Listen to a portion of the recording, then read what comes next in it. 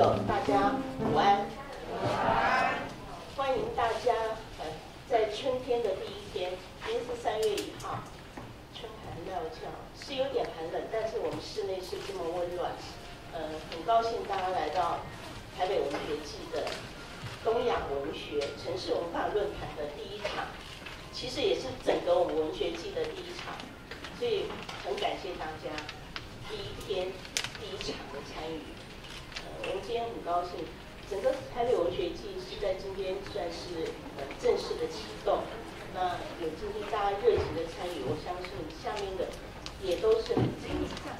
那我们这个城市论坛是有五场，今天是首从首尔看台北，那有石晓峰老师，还有三位主呃在这一门优秀的老师，待会就把整个主持交给石晓峰。那我们这场我们这个论坛有五场，那还有包括文学阅读的讲座有十一场，在四月一号在中山堂的讲座是一个台北出版记忆文学的手工时代的展览，也有三场，所以总共十九场的座谈讲座，大家还也可以像今天现场报名，还是有很多人可以参与。我想我们一起用我们文学的心，用愉快的心，用春天的感觉，来迎接这个台北文学季。那待会会后，我们会为了感谢大家，我们有五个抽奖名额，所以大家不要离开，送我们这一次文学季的那个纪念品，是一个很漂亮的手工的书衣，展示一下，手工的书衣，那应该把那个书弄起来，所以我相信有五个幸运的观众朋友可以参加，所以我们一起用热烈掌声来欢迎希望。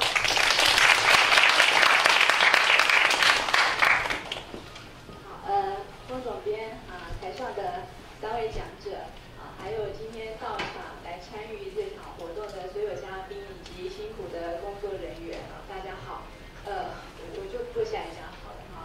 那很高兴，因为其实我是昨才突然发现啊，今天这一场那个对谈是二零一五年台北文学季的第一场啊，所以我真是非常的诚惶诚恐啊，像应该要有一个好的开始啊。那刚才龚总编也提到了哈，这个东亚文学文化城市论坛这一系列的讲座啊，从首尔开始，然后接下来还会有跟呃东京的部分，呃上海的部分，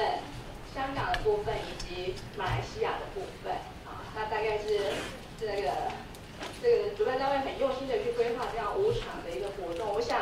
这个这个活动，这这个系列讲座的用心，当然是希望从一个台北啊，跟另外一个城市，跟东亚另外一个城市的交流里面呢，去共享一些呃文学的记忆，或者是呃去琢磨、去交流一些文化的啊一些所谓的记忆。好，那这个我也很期待，是非常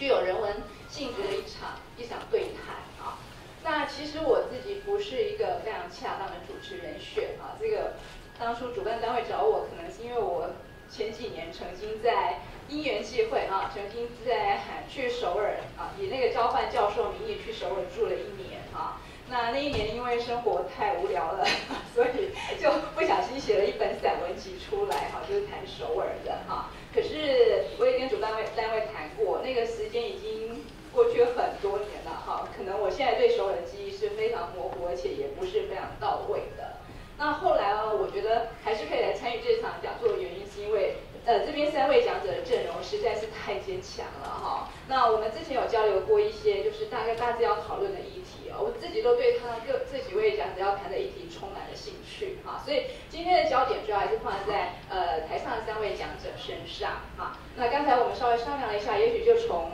从崔默顺老师开始，但是我先介绍一下在台上的三位讲者哈。那崔默老崔默顺老师是韩籍的东亚文学的一个一位研究者，他现在在正大韩文所哈那个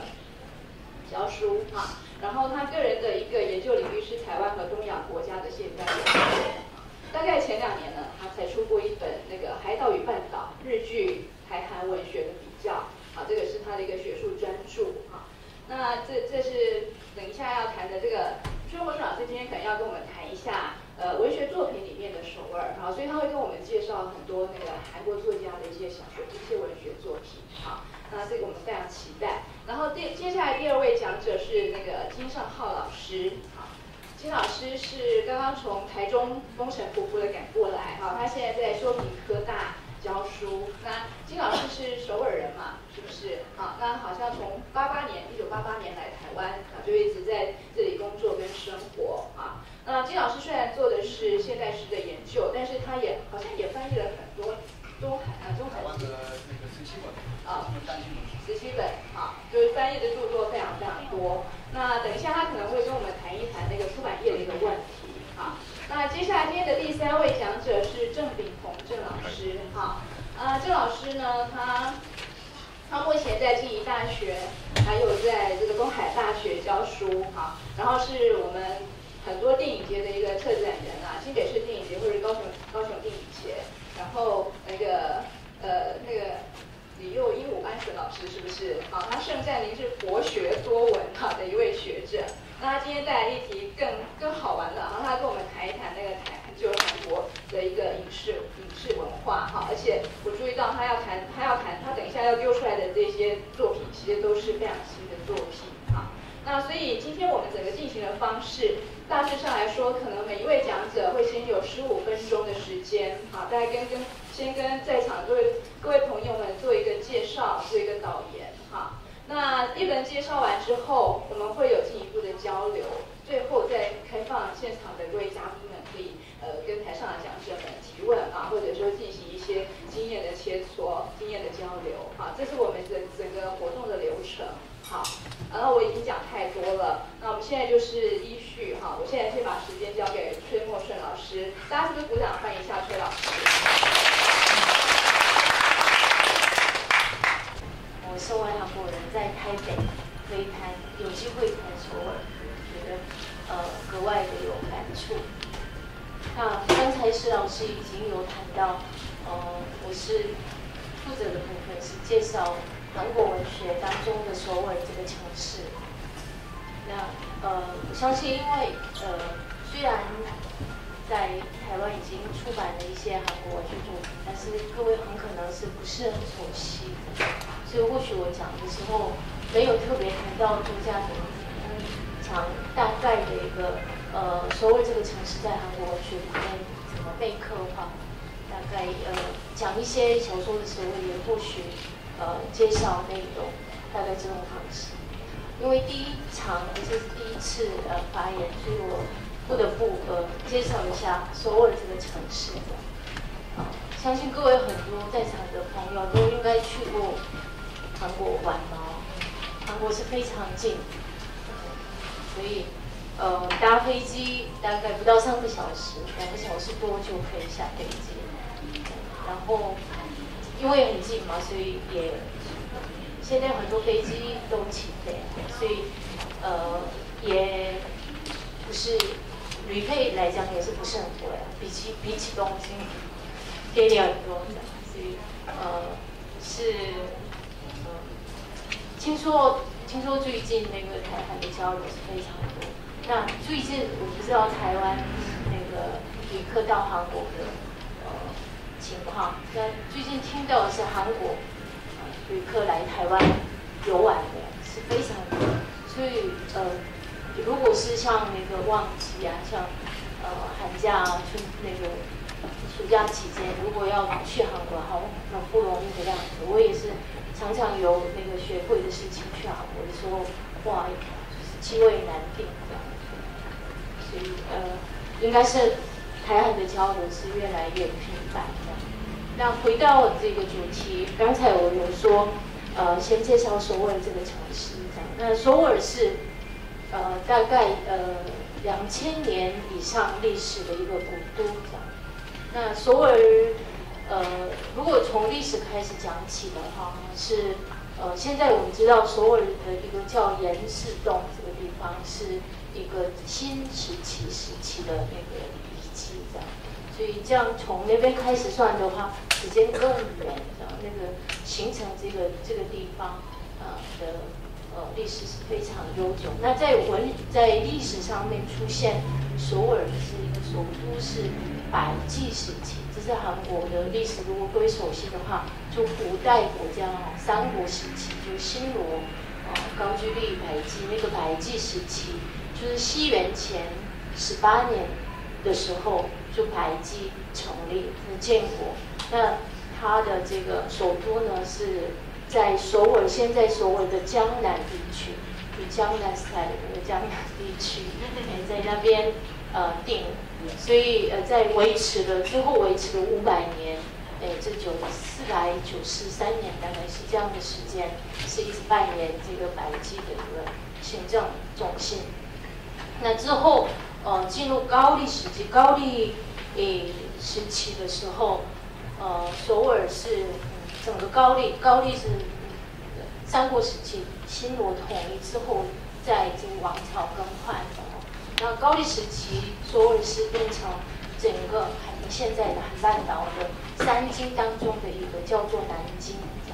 那西边的这个平壤跟东边的庆州，是西京、东京跟南京，所以也是非常重要的一个城市。那再来是。呃，朝鲜王朝，朝鲜王朝是呃一三九二年，就十四世纪末期成立的。那朝鲜王朝呃成立之后，第二、第三年，就是一三九四年的时候，就当时的李氏朝鲜的太祖呢，是把这个呃首都搬到首尔来的。那有里面有很多故事哦。如果各位看韩国的这个古装古装剧的话，应该。知道一二这样，那搬到这个首尔之后，呃，为呃当这个呃首都行政首都是呃将近五百年以上，到现在之后，这个进入到一九一零年呃殖民地时期，殖民地时期的时候，首尔是呃就降降格了哦，叫做京城这样。啊，那当时不叫首尔，那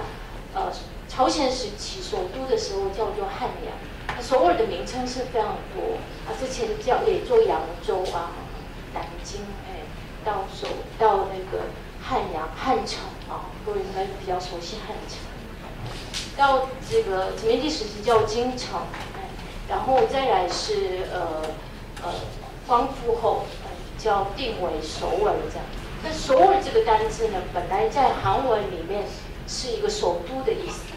就并不是特，呃，并不是指一个特定地方的名称，而是是一个首都的意思。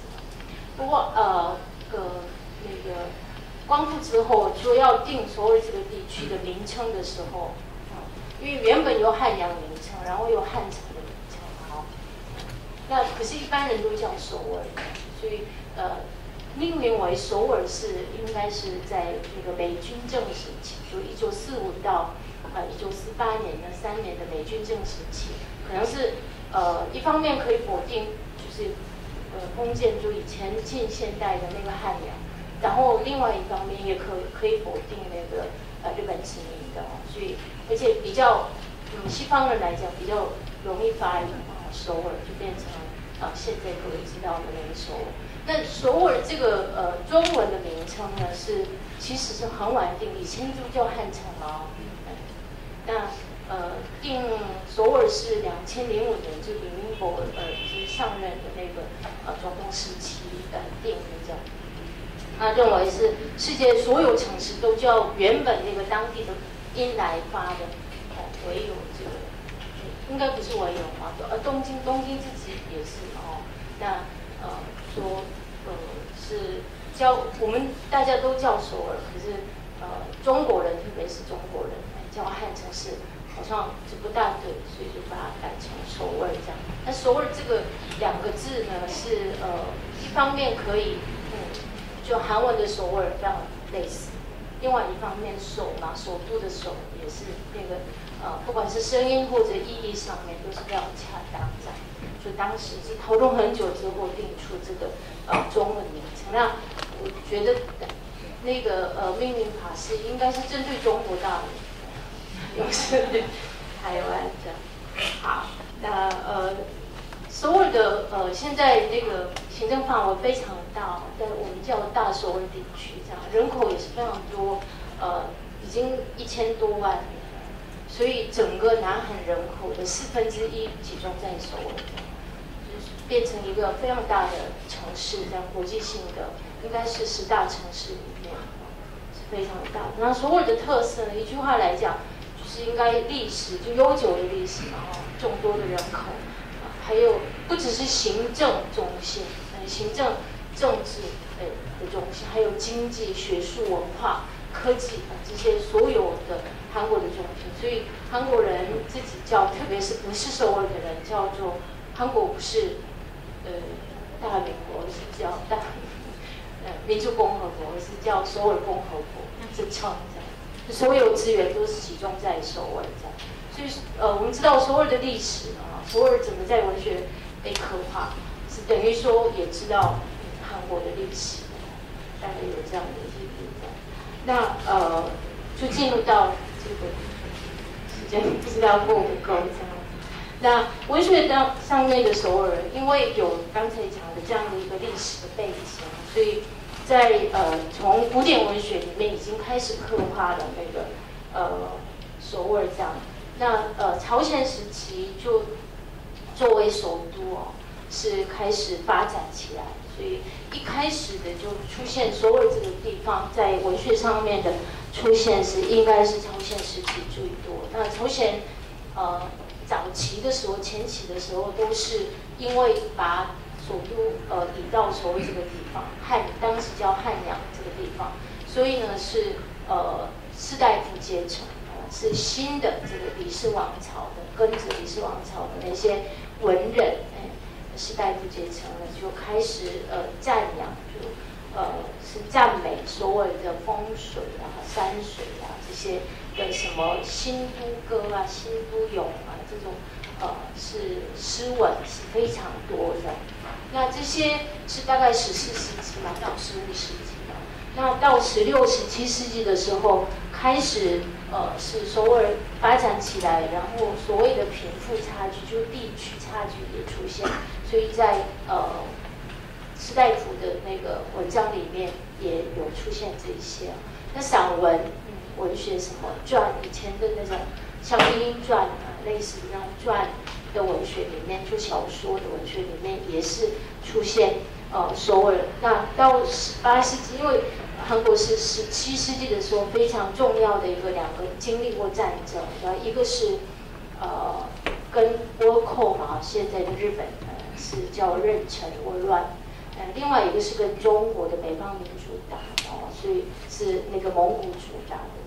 这经过十七世纪两次的大乱之后，首尔人口是减少了很多，然后又很快的十八世纪就发展为非常呃。是人口众多，当时就三十万以上的一个非常大的城市，呃，然后商业也是开始发展，所以十八世纪给的韩国古典文学里面的首尔几乎都是这种那个呃市场啊，很四大市场，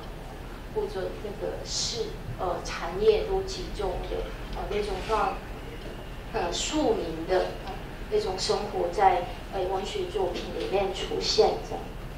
那。在呃讲到首尔的话，呃，在西方人眼中，呃，也是一个呃，像特别是法国，法国是在西方可以说一个中央集权代表性的国家。那所韩国也是中央集权国家，从古代开始现在啊，所以呃是中央集权国家，基本上都是以首都为发展，中央为发展。那呃巴黎也是啊，不只是一个行政中心哦。那首尔也是同样的一个呃位置，所以法国的呃都市学家或者地理学家呃有说有有一个叫一个名词叫 Seoulization，就是首尔化、首尔型这样的一个单词，是比较负面的一个巨大的都市发展之后的一些负面的呃，比如说环境污染啊，没有秩序啊，被破坏，自然被破坏，这些都呃是。大都市发展的一个负面影响，负负面的一个嗯影响当中一种，哎，叫做呃首尔型，有这样的命名。那也有一个地理学家说，首尔是一句话来刻画的话是公立共和国这样。那首尔的公寓啊，是各位可能超过各位想象，但是可能是在韩剧里面或许出现也说不定，就非常大的规模，是一排排完全没有个性的那种。一个大规模的、一个大面积的那种公寓是非常多，呃，那基本上，呃，光复之后的，嗯，是进入到现代之后的首尔是，呃，所有资源集中，然后以集中开发、开发市场主义当道的那样的事情，啊，所以文学基本上也都是刻刻画，呃，开发当中被，呃，就是，嗯。被游离的，或者从乡下啊进入到首尔讨生活的人们的故事，或者找不到房房子，因为房价也是非常的高哦。那房子呃没有找到房子的哦那种人的一些故事是非常多。还有经历过呃韩国的整个历史现代史啊，是民主化运动啊，反政府啊抗争啊。呃，或者经历过战争啊，那这些呃之后的那种抵抗的、反抗的那种人人的嗯面貌，也是在文学作品里面大量刻画的。所以基本上，呃，因为所有大部分都是占据了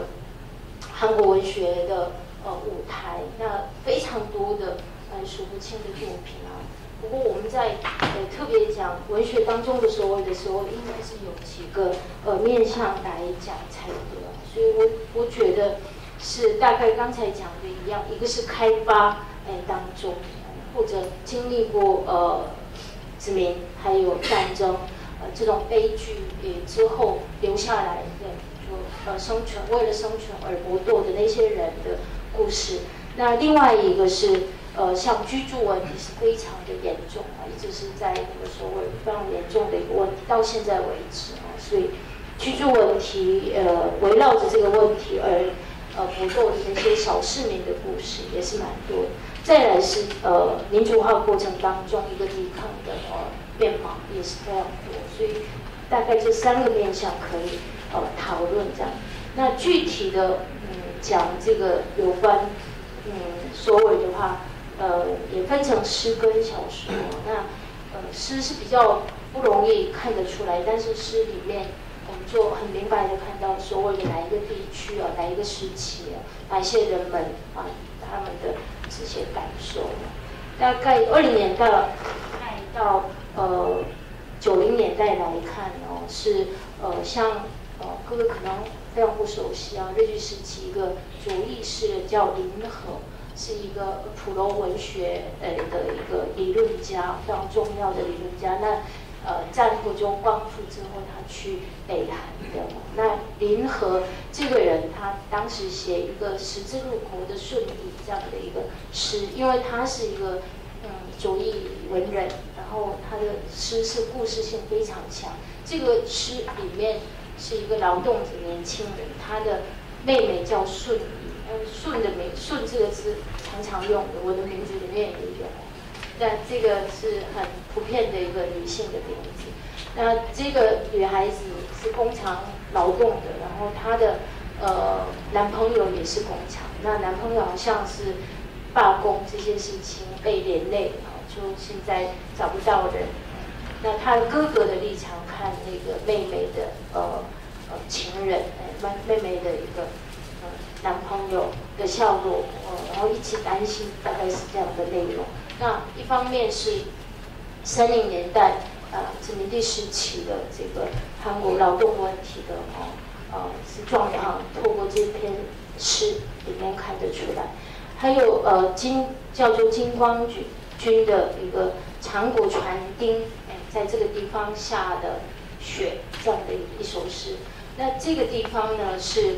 呃。丁啊，就是行以前的行政那个单位嘛，像西门町一样，是日据时期的一个名称。那长长谷川川是第二代朝鲜总督的，就是他的名字来命名的现在的一个所谓的一个地方。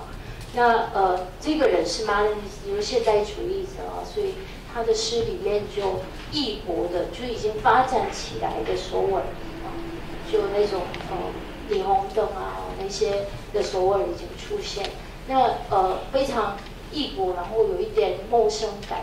哎，可是呢，因为下起雨雪来，雪是从以前古代到现在是一个样子，所以下起雪啊，在看着雪当中啊，他就回想以前，就怀念呃近代化以前的所谓大概是那样的内容。那这种呃小说非常多，呃，基本上来讲，日据时期诗里面刻画出来的小说，呃，那个首尔呃，基本上是一个。嗯，殖民地都市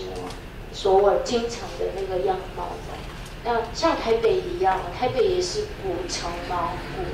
呃不像台南那么的旧，但是也是古城，有台北城城墙的。那进入到日据时期的时候，常常被拆除，然后又呃发展为现现代现代城市了。像西门町这个地方是日据时期发展起来，那之前是一个万华的一个地区嘛。所以是二元的一个都市，首尔也是一样。啊，明洞，那各位应该是去过明洞，或者南山这个地区呢，是呃是日本人进来之后开发的一个新的一个新兴地区。那原本的现在勤福宫啊这些诶光化门，还有中路啊这些地方，就是以前就是朝鲜时期已经发展起来的这样。那这些不同的。呃，一个城市不同面貌，基本上是日据时期诶的小说跟诗里面出现的一个所谓的样貌。那小说来讲是也是非常多，其中特别要讲的是三零年代的呃日据时期小说里面那个叫朴泰元，也是一个现代主义者，他写两篇非常重要的，一个是叫川边风景，那个川是清溪川，清溪川已经已经那个。重新整理哦，那旁边就可以散步的地方，所以呃，在都市都心当中一个可以呃市民自由的去诶散步游玩的一个地方啊，现在已经变成那样。那清溪川是呃把整个首尔分成两半，一个是江北，一个是江南。那清溪川的呃呃川边风景就讲清溪川这个附近的。是人们，那有些是呃还没进入到现近近代的，就是还是封建的那种呃样貌，跟所以近代跟前近代是混杂在一起的那个样貌。不太远是一个嗯，好像扫呃素描一样哦，去呃每一个家庭作为一个单位来写一个像类似连作一个长篇小说，每一章都是不同家庭呃。的这种方式来写的一个故事。那另外一一篇叫做呃小说家邱福士的一天有这样的小说。这个小说呢是三零年代不太远写出来以外，还有六零年代也有非常重要的呃文人叫崔仁勋，也同样同名的小说写过。那九零年代又一个韩国小小说家也同名呃写了一个三个呃三本的一个。小说家邱福士的一天这样的一个故事，那主要内容三零年代那个故事呢，是基本上这个呃里面的主角是小说家，那很可能指的是作家本身。那殖民地时期呃知识分子，特别是当地就是朝鲜的知识分子、韩国知识分子，或者当时台湾的知识分子也是一样，虽然去东京念书回来，所以基本上是找不到工作的。能够找得到工作是日本人以下的工作，所以他学过的学学士啊，或者他的抱负来讲，那个工作是没有办法满足，呃，所以很多都是非常无力的、无力的。那整个股呃股权呃上市那种状态之下，自主的自主性很缺乏的啊状况底下，非常无力，嗯，然后又找不到没有希望的那种啊那种。生活，所以这个故事呢，是这个小说家呢是呃早上出门之后一整天就绕着首尔，呃一直走路这样，就是都市流浪或者散步啊一个男性作家。通常这种呃呃的呃题材的小说都是讲到那个每一个地区的首尔的这个，因为跟着那个街头走，所以每一个地区的那个风景都是写出来的。所以呃三零年代所谓的叫做考现学，不是考古学。考现代，考察现代的，啊，所有的样貌是一个一个，就一天他走过的那个路，呃，跟着那个路哦，是刻画所有的呃样貌，都市样貌以及人们的生活，以及这个小说家的感受的，那就是这篇小说也是啊，放呃代表性的一个呃所谓的，嗯，那这些以外也是非常多，时间已经已经到了，所以。如果还有机会，等一下有再时间的话，我们再各位介绍。谢谢。这个谢谢崔老师哈，他一开始就非常有层次的帮我们做了一个很深入的导言哦。那我在听的过程当中，深深感受到那个十五分钟对崔老师来讲实在是太残酷的时间限制了，他要讲的东西大概一学期都谈不完哈。那刚才崔老师他从那个所有的命名的流变啊、特色重要性，然后开始去谈到文学这个部分，文学里面的首尔啊，但是他从朝鲜时期谈谈到近代，谈到现代哈，他谈到一九三零年代而已嘛哈，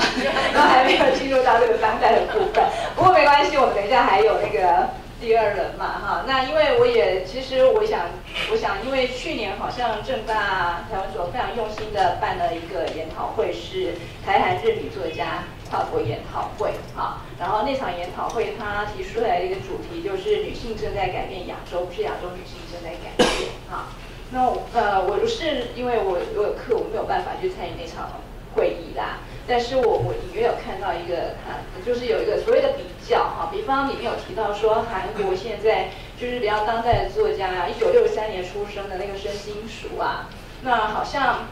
他的作品跟我们台湾的小说家苏伟珍有某一些共同之处哈。那因为韩国小说我看的不多，但是申金淑我曾经看过他一个很短的短片，叫做呃风，好像是风琴响起的地方哈。那篇他是用一个书信体的方式写，然后有一个女孩子，她要跟一个有夫有妇之夫私奔之前，啊，他写的一些心路历程。那最后因为一些道德的考量还是什么的，啊，最后他在最后一刻就放弃了。本来已经规划好要私奔了，最后一刻放弃了。然后整个那个情节情节都是用书信体来写。那我那个时候其实我就立刻想到苏伟珍的成名作那个陪他一段啊，就是我不晓得就是说这样子的一种比较适不适合哈，还有像那个金人鼠好像会跟台湾的那个蔡淑芬做一个对比哈，我想说如果在一会儿第二轮啊，那个薛老师如果有时间的话，能不能稍微跟我们提一下，就是韩国跟台湾作家之间啊他们的一些共同性或者差异性的一个比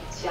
啊，那或者说，呃，崔老师还有其他要要继续谈的部分，反正等一下是很自由的，好，我只是随便抛一点问题，不要太在意啊。好，那我们现在可能就先请那个金尚浩老师谈一下大家相对比较陌生的那个坡州书城哈，因为我也不知道这样子一个，是号称是最大的一个出版的一个一个一个一个生产区嘛，一个出版区哈。好，那我们欢呃鼓掌欢迎一下金尚浩。老师。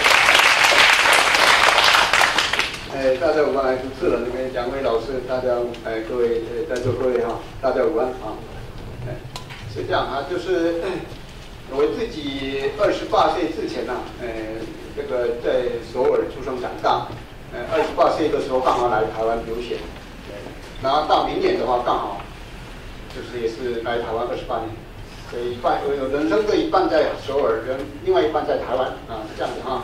哎，那个我我也不晓得这我的命怎么会变成这个样子啊！然后，呃，我们学校的副校长一直跟我讲说要规划台湾的哈，但是我不是很喜欢韩国，但是这个是我的祖国，我没法放弃，所以我是我还是韩国籍哈，哎，所以这个因为我当然我有永永久居留居留权嘛哈，所以就我这一边就可以住台湾是没有错哈。啊，但是我经常会首尔，因为过年呢，是因为我我老呃我父亲是今年八十七岁，呃母母亲过世哈，所以这个几乎每年哈，寒暑假都回去看老人家，我岳母也还在嘛，就看老人家，就这样的。那有时候办研讨会啊什么的这种经常的去这样子，很近嘛，反正坐飞机哈，呃，这个办公会以后他们提供给我们餐嘛哈，吃晚餐吃餐之后啊，上个洗手间，然后闭个眼睛就到了啊，就是这样，两个小时差不多就很快了啊，这样。然后刚刚呃崔老师也提过哈，就是难买这个机票这个部分呢，我更告诉各位很秘诀，上个月以前订的话，呃差不多便宜三四千块。早鸟嘛，啊，脚鸟，对不对？你现在那个高铁票也是好像有脚脚鸟，什么都有脚鸟啊，对不对？嗯，而而立波嘛，对不对？所以就早一点来，就要要便宜啊，这样。呃，那我刚刚呢，就是前阵子诶呃，主办单位哈这么讲说，要谈到所有跟台北的事情，其实谈什么都可以，但是呃，主办单位好像那个文文案里面呢有提到说那个呃，韩国呃破州啊，呃上坡地的货嘛哈。或者这个速成的哈，这个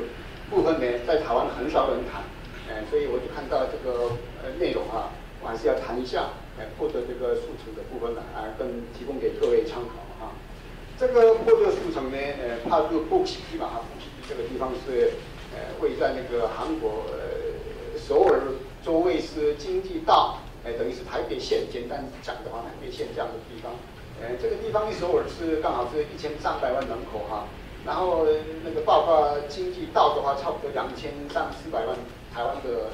人口就在那个集中在那个地方，是这样子啊。所以那个过热这个地方是离首尔差不多三十八公里嘛哈，差不多四十分钟左右就到。哎，所以以前的话，呃，那个地方差不多一九九八年、九九六年这个时候啊，呃，就开始哈动土的时候，呃，就很多人因为。为什么集中在那个地方就开那种呃树丛呢？呃，很多原因呐。因为当时哈那个召集人是怎么样的一个人？他说他认为哈，当时韩国社会，因为韩国社会，韩国跟台湾呢近一百年的历史是很相似的哈。因为台湾的话，一八九五年马关条约之后到一九四五年，对不对？五十年的时间被日本殖民统治哈。韩国的话，一九一零年开始到一九四年三十六年的时间呢啊，被日本殖民统治。呃，然后这个战后，呃，一九四年以后嘛，对不对？呃，韩国的话，这个韩战一九一年嘛，对不对？然后这个呃，可以说是一个那个独裁政权啊，什么这个共还有白色恐怖时代什么的啊，经历过这样的哈，呃，所以这个当然大家都知道哈，这个六年代、七年代、八甚至到八年代这段时间内，啊，经常出现所谓的政治、政治这个小说啊、政治诗啊什么的批判这样的哈作品，台湾跟韩国都有，对不对？这个部分的话。哎，大家都很很熟悉啊！啊，我这个一个题外题外话就是说，有一次我跟日本诗人呃闲聊的时候啊，他跟我讲说，因为他他知道我是韩国人，但是我住在台湾嘛，所以他这么讲说，哎，我非常羡慕呃你们韩国跟台湾的文学家。我说你为什么羡慕我们？他说，因为你们韩国跟台湾呐有很多题材可以写啊。我是什么题材？因为你们经历过很多那个政治事件啊，很多很多问题哈。因为日本的话没有这种事情嘛，对不对？他们的话，他们的话，啊，都是这个生活上的抒情的诗啊什么的啊。但是韩国跟台湾很多这样子哈，就非常羡慕你们哈。那我听到之后非常难过哈。呃，所以我跟他讲说，呃，其实哈，我们我们呐，他写诗的哈，他不写这种文章没关系的哈。呃，像这个你们一样，呃，国家和平安定就是最好的，对不对？跟他这样讲而已哈，这个是过去呢曾曾经经历过的事情哈。所以这个破旧这个地方是占地是呃一百五十八万平公尺哈，呃很大的。目前好像进驻的出版社六百多家，呃这个是全世界最大的一个一个一块地的哈。呃然后这边呢这个设计造纸哈、印刷、出版、流通等等。因为以前呐。韩国的这个出版社呢，都是散布在呃全国的各地啊，一个小型的出版社。所以他当时这个召集人认为啊，因为我们这个过去了这个经经历了这个日据时代，呃，还有呃这个韩战啊，然后盲目的接受美国的文化，呃，然后这个独裁政权啊，我们经历过这样的过程当中呢，然后这个很多人是从乡下到都市的这个都市来，六零年代、七年代就这样啊。那所以这个过程当中，我们丧失了什么？人间的那种，我们人类的那种人间味哈，呃，就这种感觉啊。那所以呢，那他觉得哈，这样的话，而且，呃，他发现的是，我们都市里面的很多建筑物也是乱七八糟，交通也是乱七八糟哈，对，设计的规划的都是乱七八糟，对不对？他发现是这样的啊。所以如果说这个我们的速成，这个速速成呢，它集中在一个地方，然后规划。他说规划之前，不只是呃这个规划速成而已，它的概念就是说，我们跟建筑师一起合作，哎，所以呢，我们住在这里或者是这边上班，我们很舒适的环境里面哪上班呐，哎，他有这种概概念啊，哎，所以这个部分呢，他跟政府刚刚开始的时候，政府当时的总统是金融山的哈，哎，跟他讲过。呃，跟他们这些人官员讲过，但是刚刚开始的时候，官员他们的想法是没有讲，但是他一直一直坚持。最后，哎，金融传说，呃，因为这个是呃离首尔三十八公里的地方，然后北韩的那个呃这个呃板板门店那个哈，呃，他们速成跟板门店是差不多十公里而已的哈，差不多二十分钟，很近北韩的地方啊，等于是很近的啊，对不对？但是呢，当时的总统金融传是答应说。呃，那个军那边有很多军事的那些基地嘛，对不对？啊，你们一起合作，呃，是这样的情况。刚开始的时候是这样的哈，呃，然后后来呢，这个呃，等于是呃，一九九四年的时候啊，啊，金永章他就呃答应了哈，然后呃，当然这个时候呢，韩国的官僚体系也是很复杂的，对不对？呃，所以当时哈，呃，这个十八年他们那个呃十八年的过程当中呢。呃这个汉了二十五个建设部部长，啊，十五个文化部部长，对不对？啊，所以呢，这个他们的进展呢，有时候呃呃，这个遇到一些困难的事情，嗯，但是他们呢就一直一直坚持这样子哈，嗯，然后呢，刚刚我讲的哈，这个建筑一样，呃，等于是说做一本书一样，这种概念来呃盖那个速成，呃，跟建筑师合作一起，所以这个那个地方我去的时候，哎，这好像不像不是韩国的那个过过去的那种感觉啊。哎，他们盖个每每栋大的话，都是有概念性的呃盖，呃都有这个美术的那种感觉啊，是这样的啊。那么，呃，所以这个那边呢，呃，刚刚有讲过哈。然后他们呃这个规划的是出版成文化基金会什么之类的哈。那这个出呃出版的规模是也是蛮大的哈。呃，然后他们觉得是这样的哈。呃，另外一个是因为韩国的出版业哈。一个国际的舞台上来讲的话啊，规模不是很大，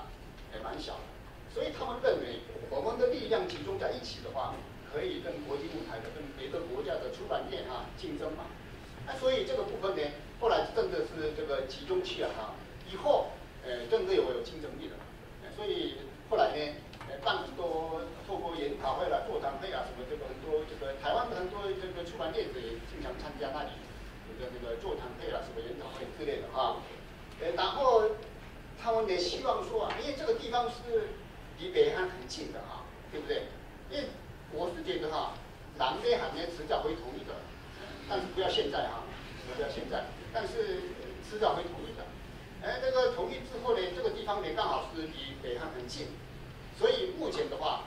他们这个制造呃这个造纸啊，或者是那个装订的部分呢，都是呃拜托那个中国大陆，因为中国大陆那个呃员工那个费用很很便宜嘛哈，目前是在那里。但是以后南北韩统一的话，他们打算说在北韩盖一个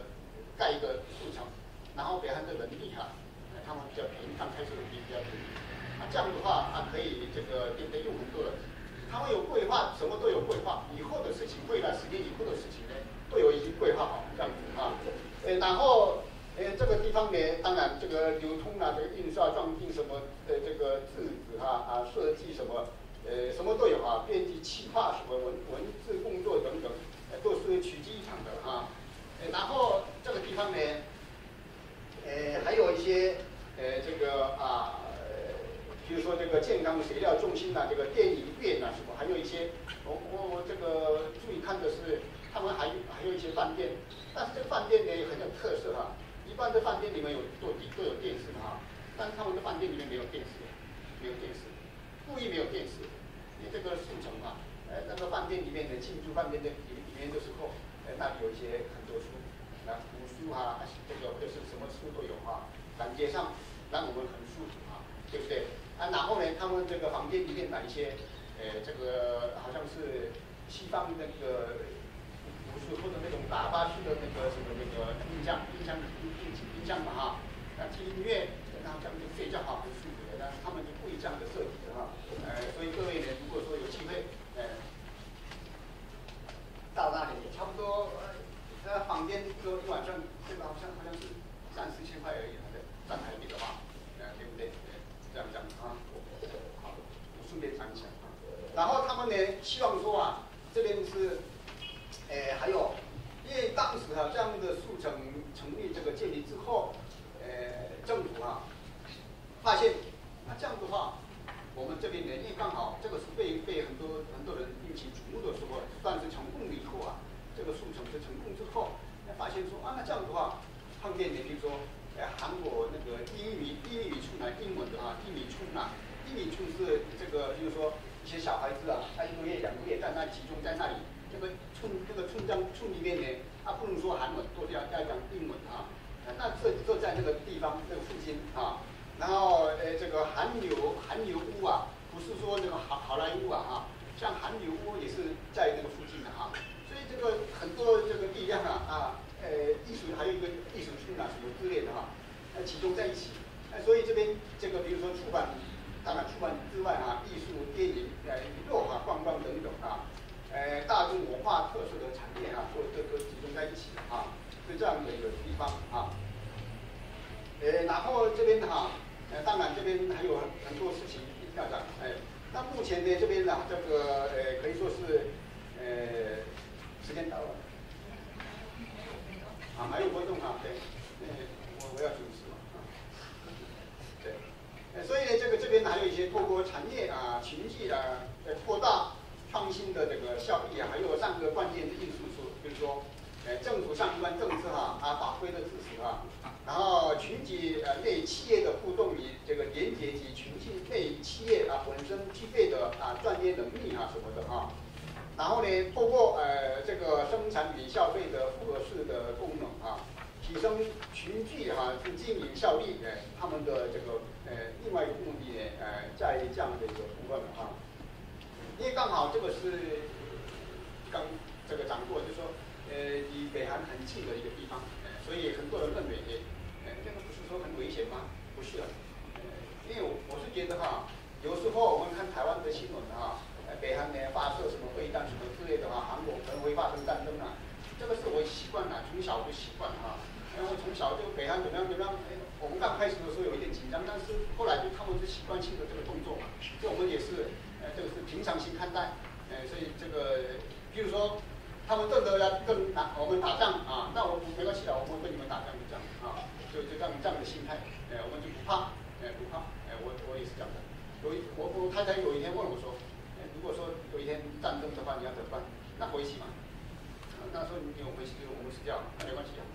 但死掉会死嘛，都迟早会死。对，我讲就跟我谈，因为我父亲是十八岁的时候从北韩过来啊，从十八岁北韩，一九四八年的时候啊，我父亲从十八岁，当时我父亲在北韩的那个啊平壤综合大学，现在的金正大学，呃读这个文学部的一年级的时候，呃他从这个北韩到南韩来，因为为什么呢？后来我父亲跟我讲说，他跟我讲过很多次哈，他说。因为这个北韩呐，他本来就要读文学，但是他们当时啊，呃，不不不知道他们这个文学，就是有时候有说这个这个共产党的什么理论哈，劳动法什么这些，反正外挂的这种东西啊，所以就学不到文学的东西。所以我父亲就，他是家里的一个最大的一个儿子嘛哈，但他有一封信给，他先跟妈妈讲，但是因为他是长者哈，所以韩国人的观念，当时的观念，长者不能离开。所以他没有跟他父亲或者这个祖父讲嘛哈，他就离开了，一个人单身就离开，十八岁的时候，他来台湾，他就不来韩国，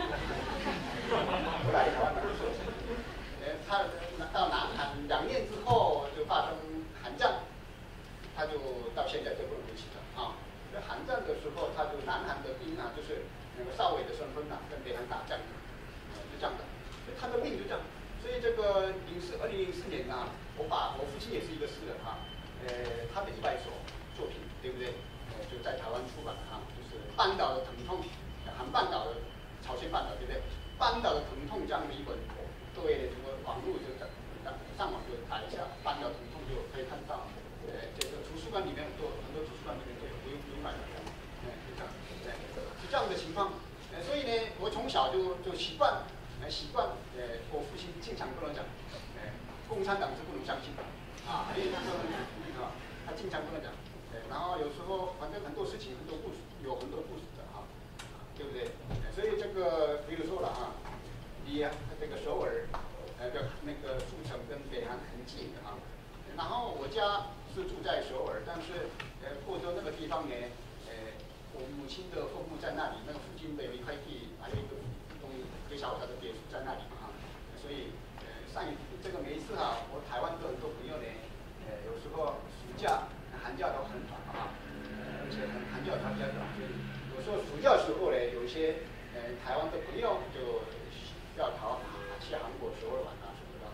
呃，然后他们过来讲的时候，呃，他们是纯粹是旅游的形式的话，呃，我说对不起，我没有时间，这样。但是去年有一个台湾的老师呢，他一秒就说，呃，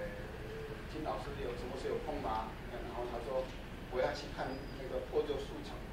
他是主体性的啊，主体性的提提到要去哪里什么的，我说有空啊。但是你不能超过两天，一定要两天，然后亲自开车，我带你去，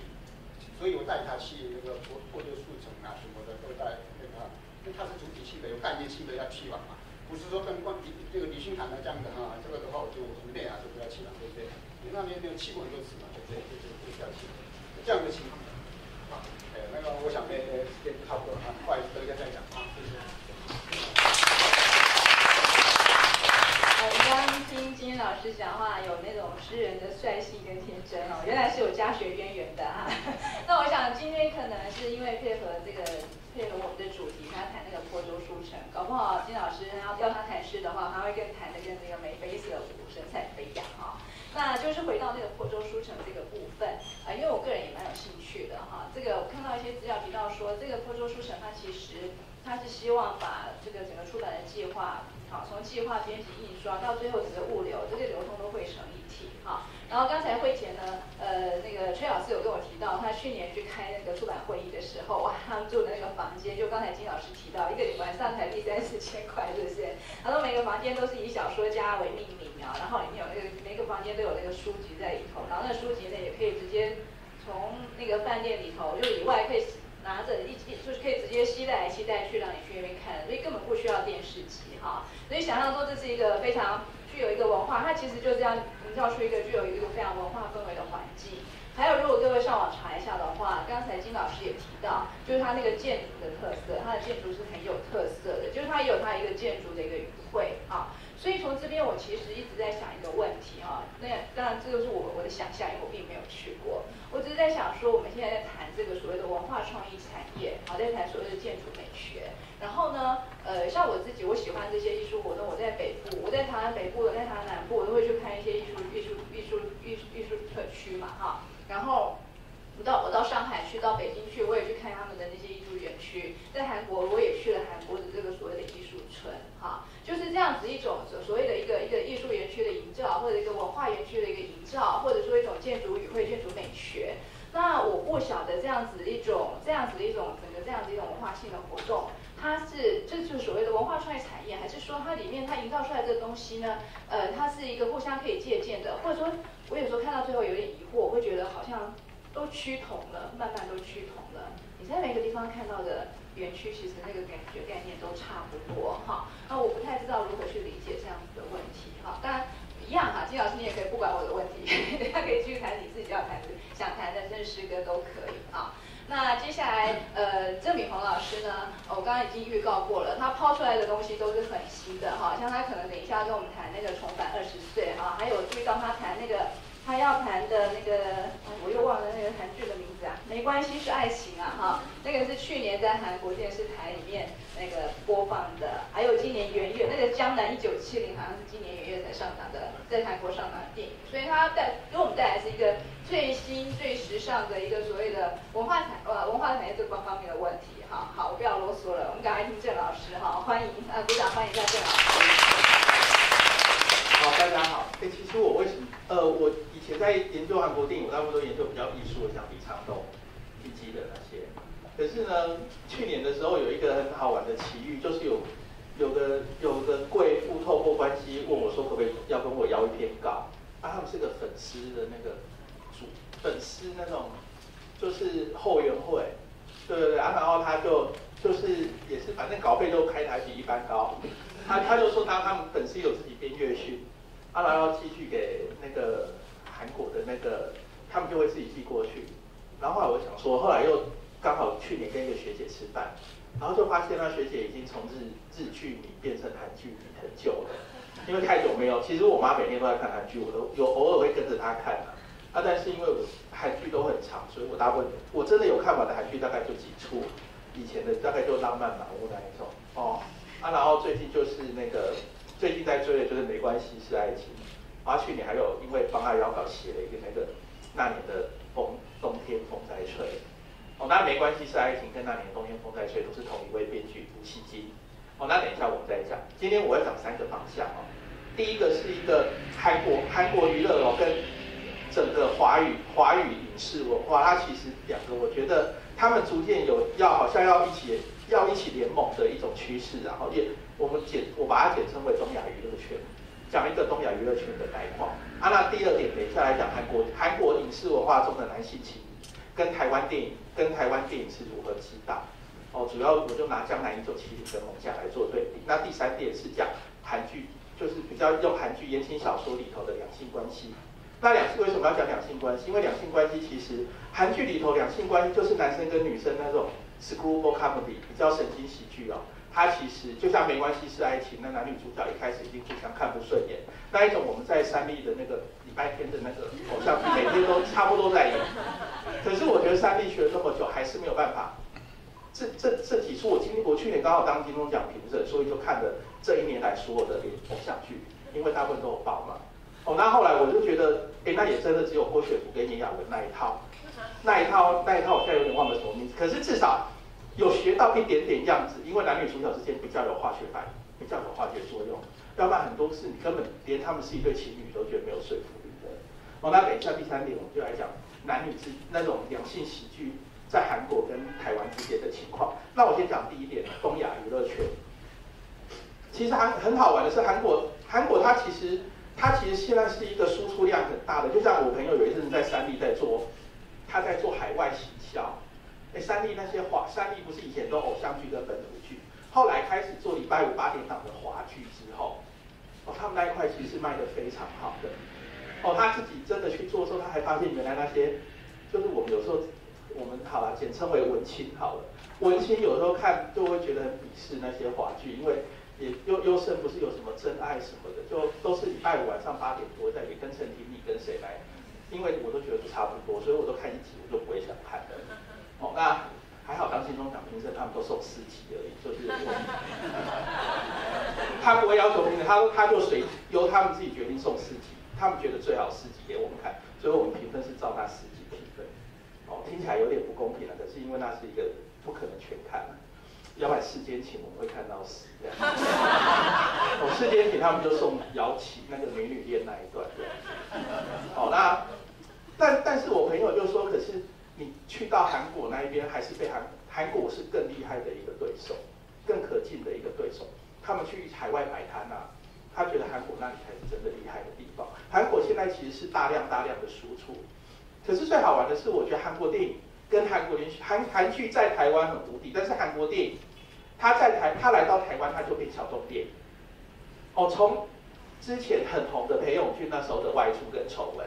哦，然后再到像，即使到今年，今年初，其实一月我去看了三部片，都跟韩国有关。大差差差不多时间上，一部是金宇彬的《继承者们》，一部是李敏镐的那个《江南一九七零》，然后还有一部是《重返二十岁》，那是韩中港诶中韩台三地联合制作的台湾导演，然后中国演员，然后也有台湾演员像归亚蕾，哦，然后韩国的资金跟韩国的剧本。然后呢，我去戏院看的时候，我就觉得，天哪，我是最老的，而且几乎全部都是迷妹，就是都是女生，大概都是十五到二十五岁。我那去也好，就是想说我现在自己在教书，好像比较能够知道学生在想什么。比如说他们看到鹿晗出来，因为我我去看重返二十岁之前，我根本不晓得谁是鹿晗。哦，然后我想说那名字听起来就很奇怪，我一直以为那是一个什么，就听起来就很奇怪。结果后来就开始去查，然后发现，哎，这个。这个真的是很萌的一个，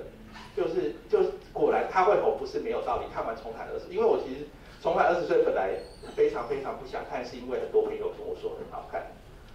哦，所以呢，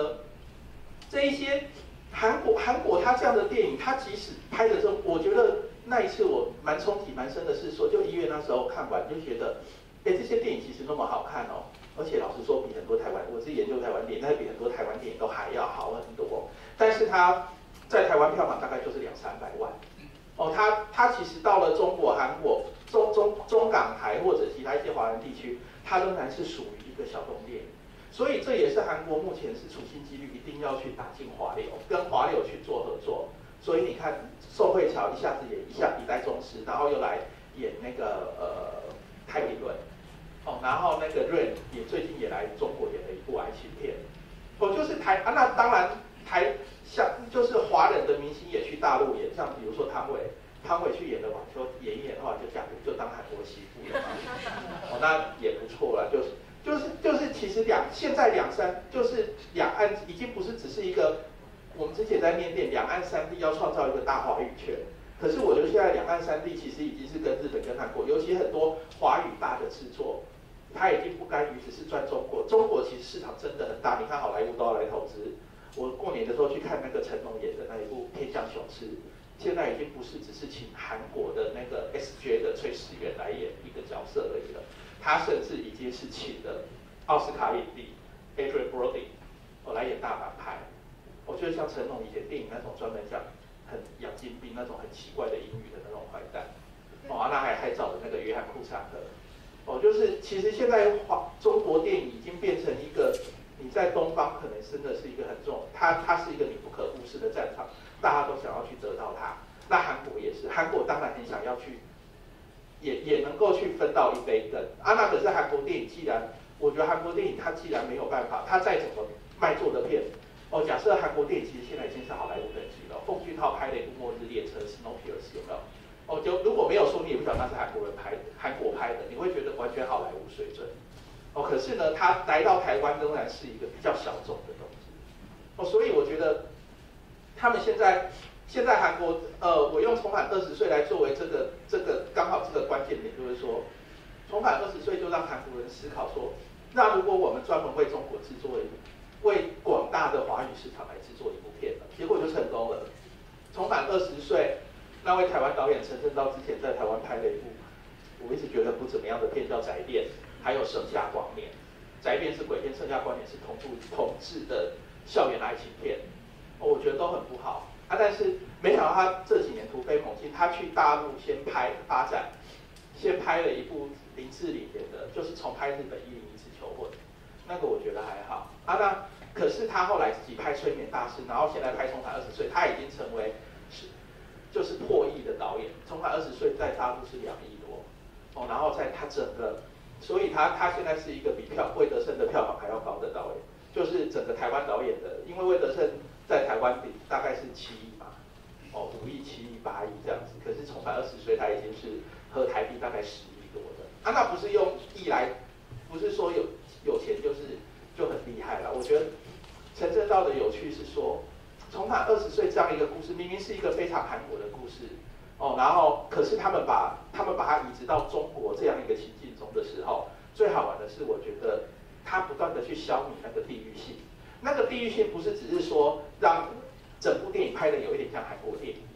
哦，然后让让你觉得，哎，这这个故事发生在韩国也行这样而已，而而且甚至它是让你觉得，虽然里头他们讲的是普通话，而且是比较北京，就是它整个故事在天津拍，然后听起来是比较金片子，可是它让你整个故事觉得台湾看，因为台湾观众有个有趣的有趣的习惯，就是说有时候听到那个大陆腔太重，就会不太想看。哦，阿娜这部电影，我觉得是少数让让少数让我觉得说，哎，这部电影真的很可爱，整个就像在看韩剧，而且它里头它故意不告诉你说那个地方在天津，也不叫也不在北京，它叫京津。第一个津是天津的津，第二个津是北京的津。哦，他那个他呢，他虚构的一个想象的一个城市叫京津，然后那个京津里头，我觉得他是把韩国的城市的特色跟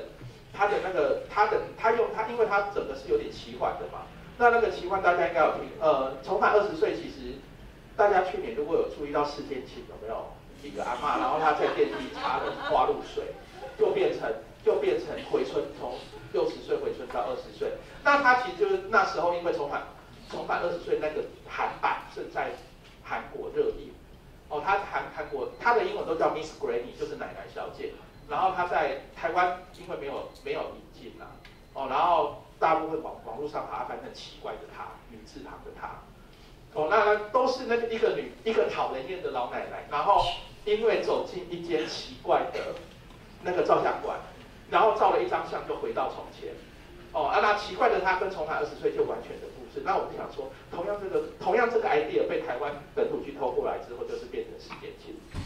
哦，这个也是有点搞笑。可是他在韩国，他在他改编成中国之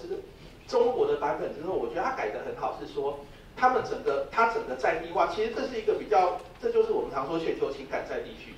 在地特色。哦，那个全里头那情感是要全球性、共通性，大家都能够懂的。但是它的特色是针对因地制宜的，所以这样一个故事由韩国去制作之后，他们交给中国的导演，中国的导演跟编剧再把它做认识跟改变。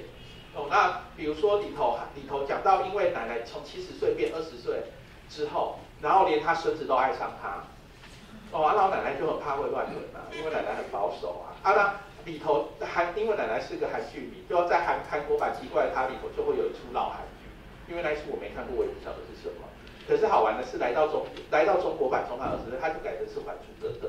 因为《还珠格格》就是那个皇上皇阿玛会爱上紫薇嘛，差点要娶她嘛。然后那个浅文本就会不断，就是奶奶就不断的想起，就是。电他他儿子他孙子要跟他求爱的时候，就整个电视上就刚好在演那一段仪式，差点要乱伦的，这个就很有趣，这就是一个文化文化对照。那我觉得重返二十岁，在这一部分的文化差异弄得非常好。哦，那比如说韩国版的老奶奶，因为她是喜欢，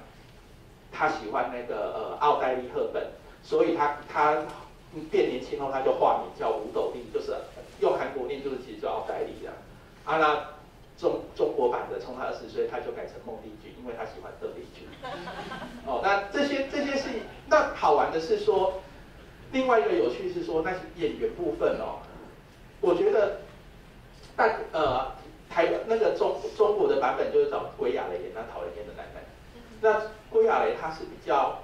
她是比较温柔婉约的人，她不是因为韩国是那个演我叫金酸顺演玄彬他妈妈的。演演玄彬他妈妈那一位那一位演员罗文姬，哦，那罗文姬也可以演美丽的声音。有一部台湾女讲女女监狱的电影的唱歌金宇珍演的，我不知道大家有没有听过。如果你如果你没看过，你要去租来看。那那一部我没租必哭，跟七号房的礼物都是讲都是讲监狱。哦，阿七号房礼物是男监，阿美丽的声音是女监。哦，然后就讲一堆女女监。啊，那那个老奶奶那个罗文姬她在里头就演一个。呃，知书达理的，有有知识，因为杀了人然后被关的，哦，就是非常有学识。可是大家奇怪，她里头是演的没念什么书，然后家道中落，然后非常粗野，非常粗俗，恰北北，每天讲话都非常大声，就是感觉像在骂脏话这样的一个老瓦萨。哦，那他他这种对应就是他把那种这那部片整个爆笑就就就建立在这样一个漂悍的老太太。变成一个二十岁的少女之后，仍然维持那种老气横秋的模样。哦，那换成到中国版之后，归亚蕾她不可能是这样子，除非你这个可能找如果唯一在世还可以这样子。哦，啊，可是他是归归亚蕾，他他就顶多是刀子口嘛，就是有时候讲话比较，我觉得归亚蕾是演的是比较，归亚蕾演的很好，可是就变成另外一种国情，归亚蕾比较像是那种。呃，九点半花系列的妈妈，啊，娜那个韩剧的是比较像是那种本土剧那种，像苗可丽老了以后那种妈妈这样，而且可能要还要加上很多脏话这样子。那这是这是重返二十岁，他他有趣有趣的地方，他让我不断的思考说，哎，那这样同样一个文本，如果在不同的地方，在韩国，在台湾，甚至如果今天是台湾去跟。就是主导性变的是放在台湾这边，不是在中国的时候，那台湾那个是不是就要变成他让他讲台语，然后要怎么去让里头他们的音乐唱的是老什么样的老歌或什么，哦，或者是练成让孙子变得是像唱闪灵那样子的那种那种摇滚，哦，这个都是很有趣的地方。然后他确实帮韩国电影想要韩国电影想要去更更去那个分一杯羹这个华流，在这一波华流中去。取得他们的诠释权，我觉得重返二十岁是达到一个非常好，算是一个很好的事情。是，要先讲到这里吗？好，我先讲到这里好了，还是等一下再。其实我们也可以下去啊，因为我刚刚才我听到那个郑老师啊在谈这个这些电影啊，戏剧的话，我觉得大家应该是听得欲罢不能嘛。好，那我一边念一边激发出很多问题啊，我可能就简单讲两个两个点哈，就是您刚才有提到说那个重返二十岁，跟奇怪他那个地域性的消弭这样子一个问题嘛哈。那本来您好像可能这次还会去提到危险关系哈，那危险关系那部电影，我其实我好像约略有看过，可是我觉得那个电影好像那个是那个电影是严歌苓后来改编改编剧本，可是它反而在里面变成它不是地域性的消弭，它是地域性的加强强化，哎对强化，因为他弄了一个什么东三省赈灾嘛，他把一个法国的小说危险关系改变过改编过来，然后他在里面他就加入一个东三省赈灾这样子的一个。一个东西嘛，那就是一个地域性的强化，所以我不太知道说，你看像那种电影改编就是这样子，这种比方说中中韩啊电影互相一个一语两次这样子，这种地域性消弭跟强化，它的一个策略性？呃，我我为什么会提到重返？本来在那讲刚有提到那个危险关系哦，就是因为我觉得他刚好成为一个对比，重返二十岁，他是不断的让整个东亚圈变成一体的。哦，那那那整个议题就是，也不要让你觉得有韩国人或台湾人或中国人、香港人之别，让你就觉得他们全部都是东方人，这样就好了。然后那个城市也是一个很呵护，就是一个比较梦幻的东方城市，就像好莱坞电影也现在很多多国合制有没有？然后你就觉得那是在一个欧欧洲或美国的某个地方，但是他不会去特别强调它是在哪里。啊，可是像那个呃危险关系，危险关系大家知道是那个德拉克的，我就是法国的一个书信体讲那个法国大革命就是一群淫淫大淫乱的贵族的故事，用书信体写，非常厚的。然后曾经拍成蜜雪菲佛演的，就一九八八年拍过一个版本，安妮特贝宁又演的一个版本，然后法国凯撒琳丹尼夫也演过连续剧的版本，他不断的在改编，讲的就是一个淫荡的女伯爵，她她她嫉妒一个非常贞洁的。的那个贵贵妇啊，所以她就叫一个淫荡的她的男朋友去勾引那一个贵妇，有没有？结果让那个贵妇的手针，因为那是一个寡妇，手针就破解啊，然后最后就是悲剧嘛，因为那个淫荡的男人就爱上了那个贞洁的女人，最后反正是悲剧收场，然后这个淫荡的女人也得到了报应这样子。那这个故事不断的被诠释，连美国的那个好莱坞都拍成 YA 片过，哦，就是那个。那时候我只剩下勇敢那个奥斯卡以后，瑞士卫视同演的。哦，那这样一个故事不断的，为什么全世界很多像香港甚至也叶童也去演过舞台剧？为什么那么国多国家人都不断的想要去把它改编成改编成改编成自己国家的文本？就是因为大家都想要找到一个你自己的一个切入角度。啊，那严格里他的有趣就是说，因为我曾经在自我自己教的一个研究课的课程去找同学讨论了。那我们觉得最有趣的就是。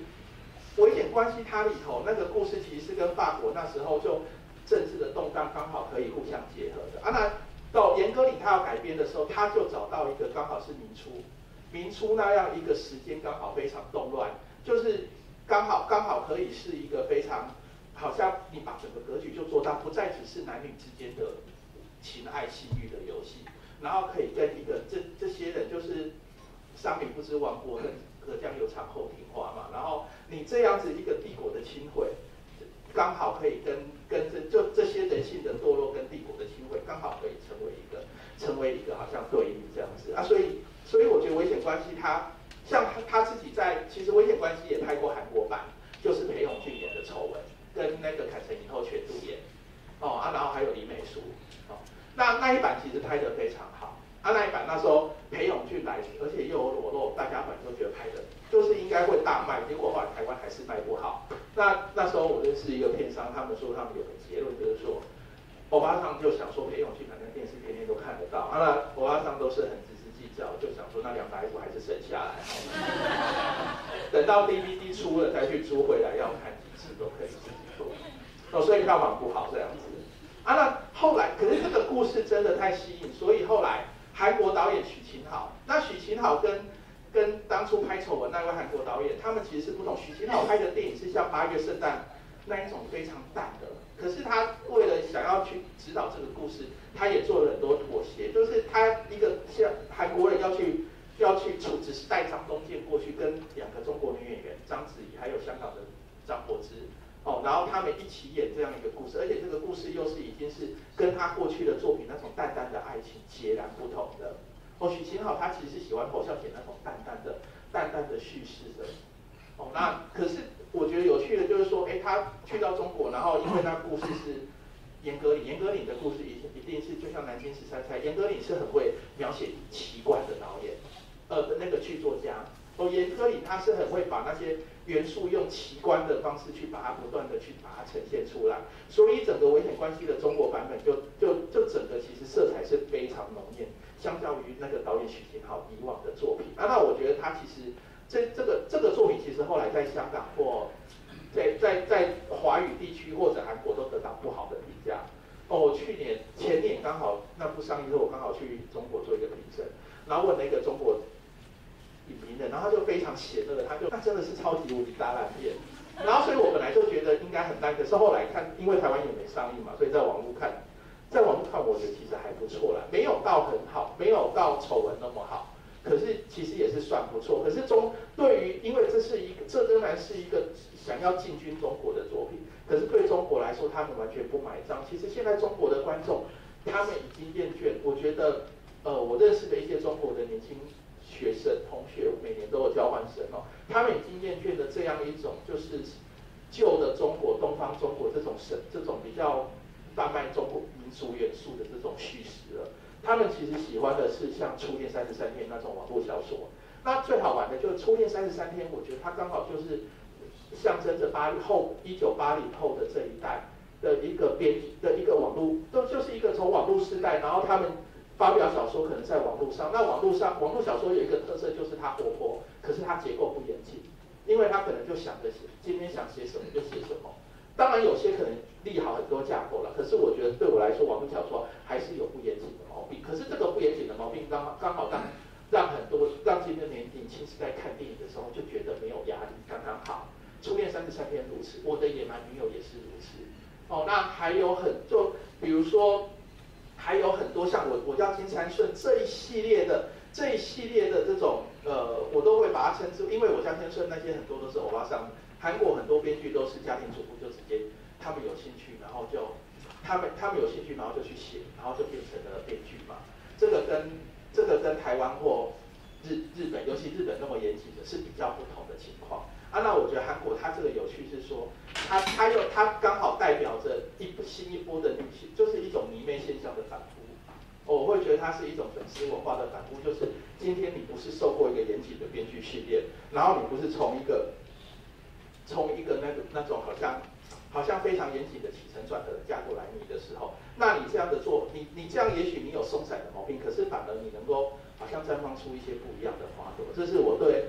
我有时候我觉得网络，我自己还蛮喜欢看网络小说，就是有时候我觉得看网络小说真的很轻松。当然，那这些言情小说会让你有时候迷妹，因为它能够跳脱某些剧剧本写作的框架，那反而好像能够让你找到一些不一样的不一样的出口。好其实我们已经慢慢进入第二轮的一个讨论跟交流了哈。那因为刚才郑老师其实还没有谈到的一部那个偶像剧就是《没关系是爱情》，然后我想在场很多年轻的朋友应该很期待哈。那因为我想顺着这个部分，我再请教一下。我其实就是想到这个，因为可能您要从这边去谈到两性关系的问题啊。那我就想到说，韩国韩剧前几年呢，就是曾经有有有一有好像有前几年有一个倾向，就是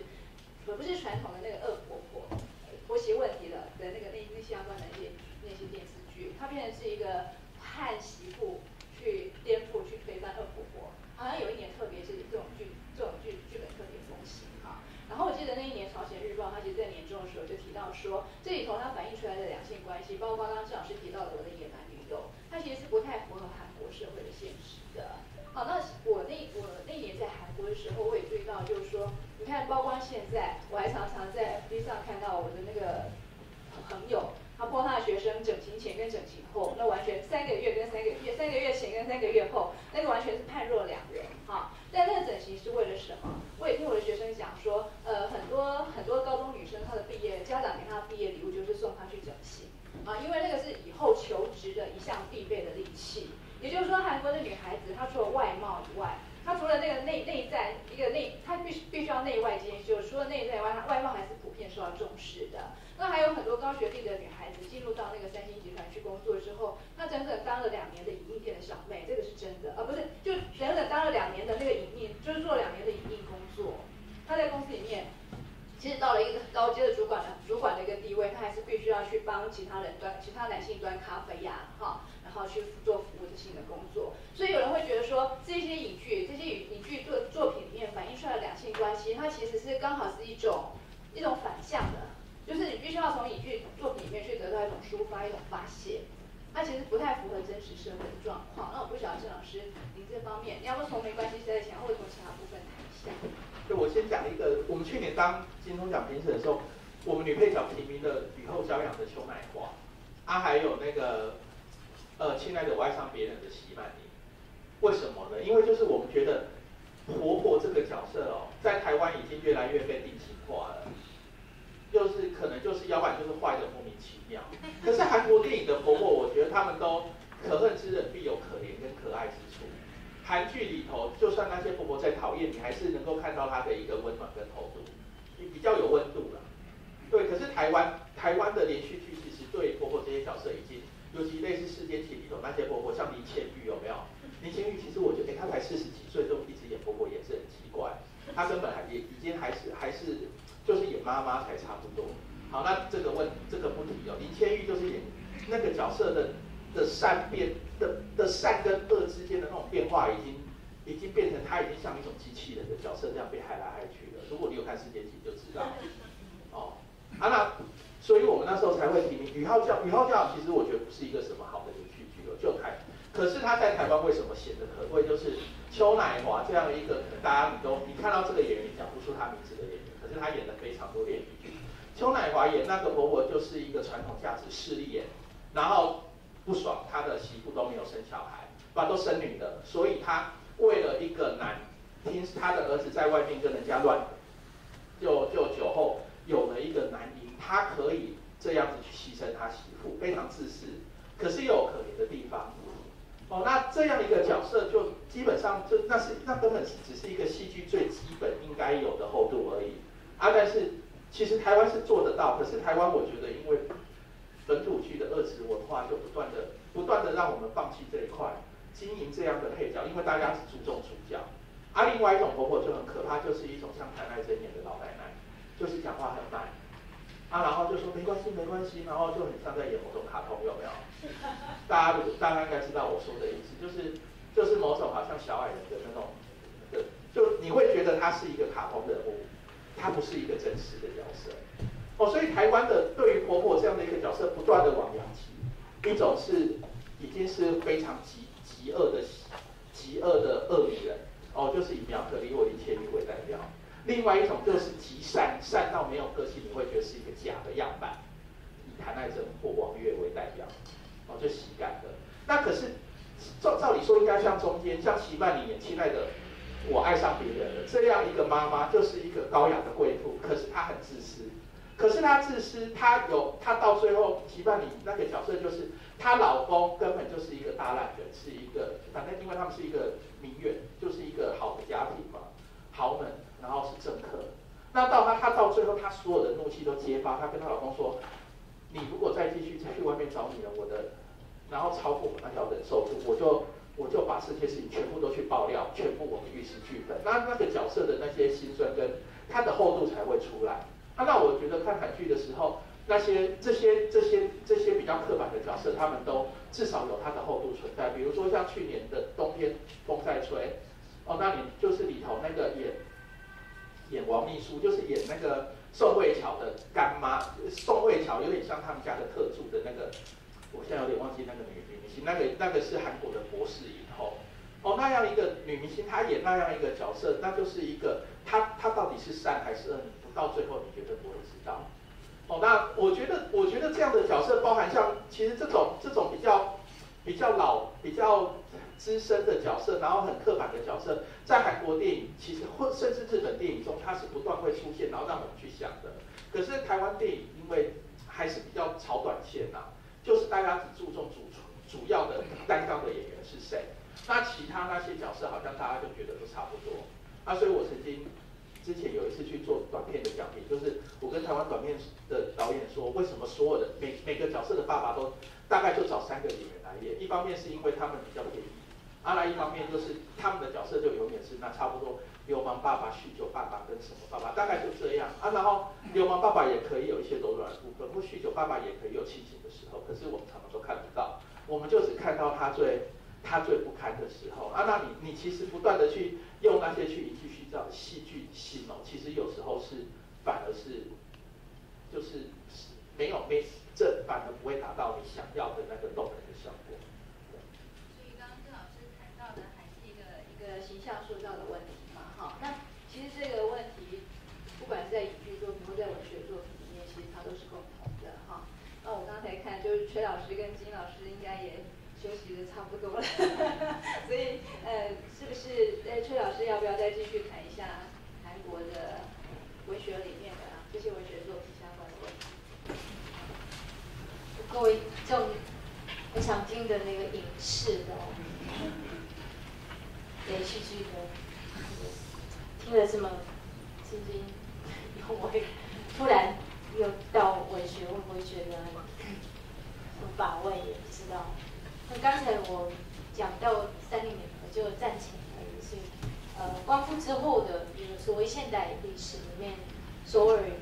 呃是在韩国小说里面怎么被渴望？我就简单举个例子这样介绍。那呃，五零年代韩国有经历过韩战啊？战争，那这个战争是呃毁灭性，呃呃打了三年，一九五零年爆发。那韩战跟台湾的呃战后的发展也是非常有密切的关系关系，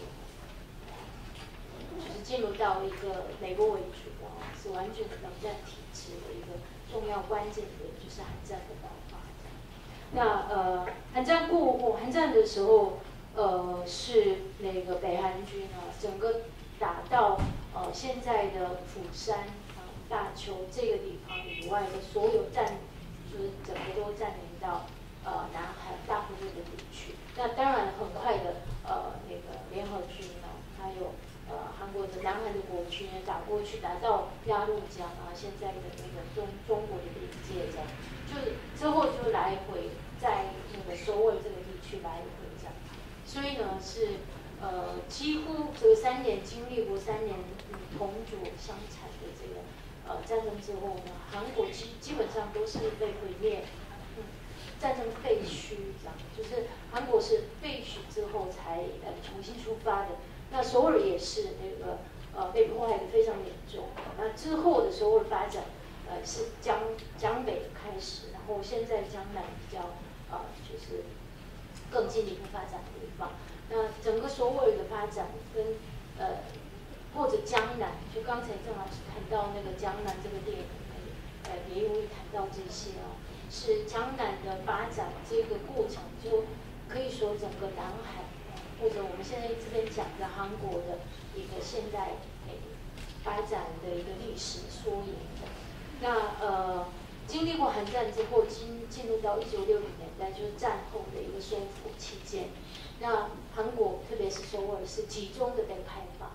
那所以六零年代的韩国小说里面，基本上都是呃，就是大城市呃的发展发展边缘的那些诶人们的故事非常多，而且是人跟人之间的陌生。啊，这些故事是非常多，比较代表性的，也直接呃叫做首尔这个作作为那个小说名称的，叫金城玉，六零年代的一个代表性的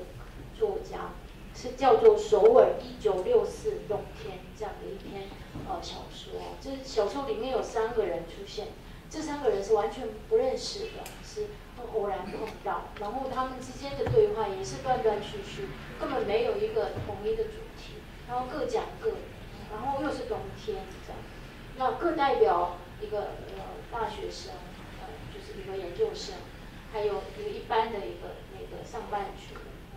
是这些不同的一个不同的身份的三个人就聚在一起，是没事做，就只好只能去人家哪边有火灾，让他们去那边就是去凑热闹，大概是这一些的故事。整个六零年代。开始开开始一个大都市化的首尔啊，陌生人之间的那种疏离感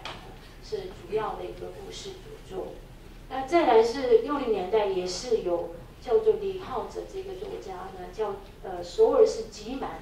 挤满了人这样的一篇小说，是也是呃六零年代的呃首尔的一个世态风景，特别是一个周边人下下面阶层的啊，很多都是从乡下上来找工工作讨生活的这些人的故事，这样就是周边部的或者临时劳动的那种，不是固定呃职场，这边盖完公寓之后又搬到别的地方去的那种。呃，临时工打工的那些，就是开发的阴影是为主的，呃，是刻画出来的。那还有一篇是一九八七年叫古楚泰勋的，叫呃夜路上的人们，这个是刻画一九八七年的所谓民主化运动里面的呃韩国历史里面讲六月六月抗争这个故事呢是。呃，一九八七年就全都换下来，就换成那个李泰语的时候，呃，韩国那时候才是直接选举总统的大统领的选举，那争取到那个直接选举的呃国民直选的那个过程，那这个过程在首尔这个地区也是不只是首尔，就一开始在釜山，哎，开开始的，然后呃蔓延到全国到首尔，呃，是很多。呃，不只是学生，还有很多呃，所以当时叫中产阶级啊，上班族这些呃，都是出来抗议之后，就呃，终于呃，不太接收了直接直接选举这个一个做出承诺的，这是呃一个民主文化运动当中非常重要的一环。那那时候的首尔也是很多地区都呃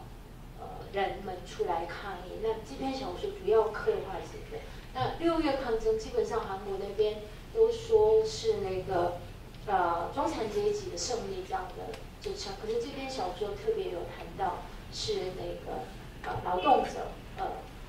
一一一群哎他们的角度来看一九八七年的呃首尔抗争，就六月抗争故事。再来是跳到九零年代，然后七零年代也有，就是从。如果练六零年代的时候都被刻画成一个开发的一个阴影的话，七零年代很多故事是从乡下上来台那个首尔，然后讨工作的啊。那特别有一个非常有名的，有一点通俗，然后卖的非常好的，也被拍成电影的一个叫《英子的全盛时代》，就叫赵呃先做一个小说家的一个，有一点通俗，但是但是就。可以谈到七零年代整个韩国的缩影这样。那故事主轴的一个女生从乡下啊上来台，呃上来首尔之后呢，他就呃因为他没有那个呃背景嘛，所以所谓背景背后，所以他只能去当人家的帮当保姆或者帮人家就家里打理，然后我们叫食母这样，就是吃饭，就是煮饭给那家人吃，还要打扫这些。那这个人呢，后来在那边也被那家人的男性欺负，呃，后来就出来当车长，以前有车长啊，车都是那个公车里面有对不对？那个收票那些一个女生，年轻女生车长，就当公车的车长。后来那边也是不顺不顺利，最后呢又负债，最后呢是当酒家女，哎，然后又手臂一个被呃割断，就是这种。呃，种种，她的整个没落下去的、沦落下去的一个过程，那是七零年代非常，嗯，那个整个小说的舞台是首尔，所以也是七零年代的那个韩国，呃，以及呃所谓的样貌，啊，大部分是这种方式被文学里面呃写进去。呃，到八零年代，我们刚才讲的那个民主化运动的啊，抵抗的人群，呃，是特别出现的多。呃，在九零年代呢，是现在就大都市的一个国际性的都市首尔，你们跟大台就台北地区没有两样，是其实现在的大都市啊，所谓 metropolis 啊，去哪里都一样，是这边台北卖的，首尔照样卖的，都是一样，东京、巴黎、纽约都应该是一样的，是这种呃，对大都市里面人们，是比六零年代一开始的那种感触更更是。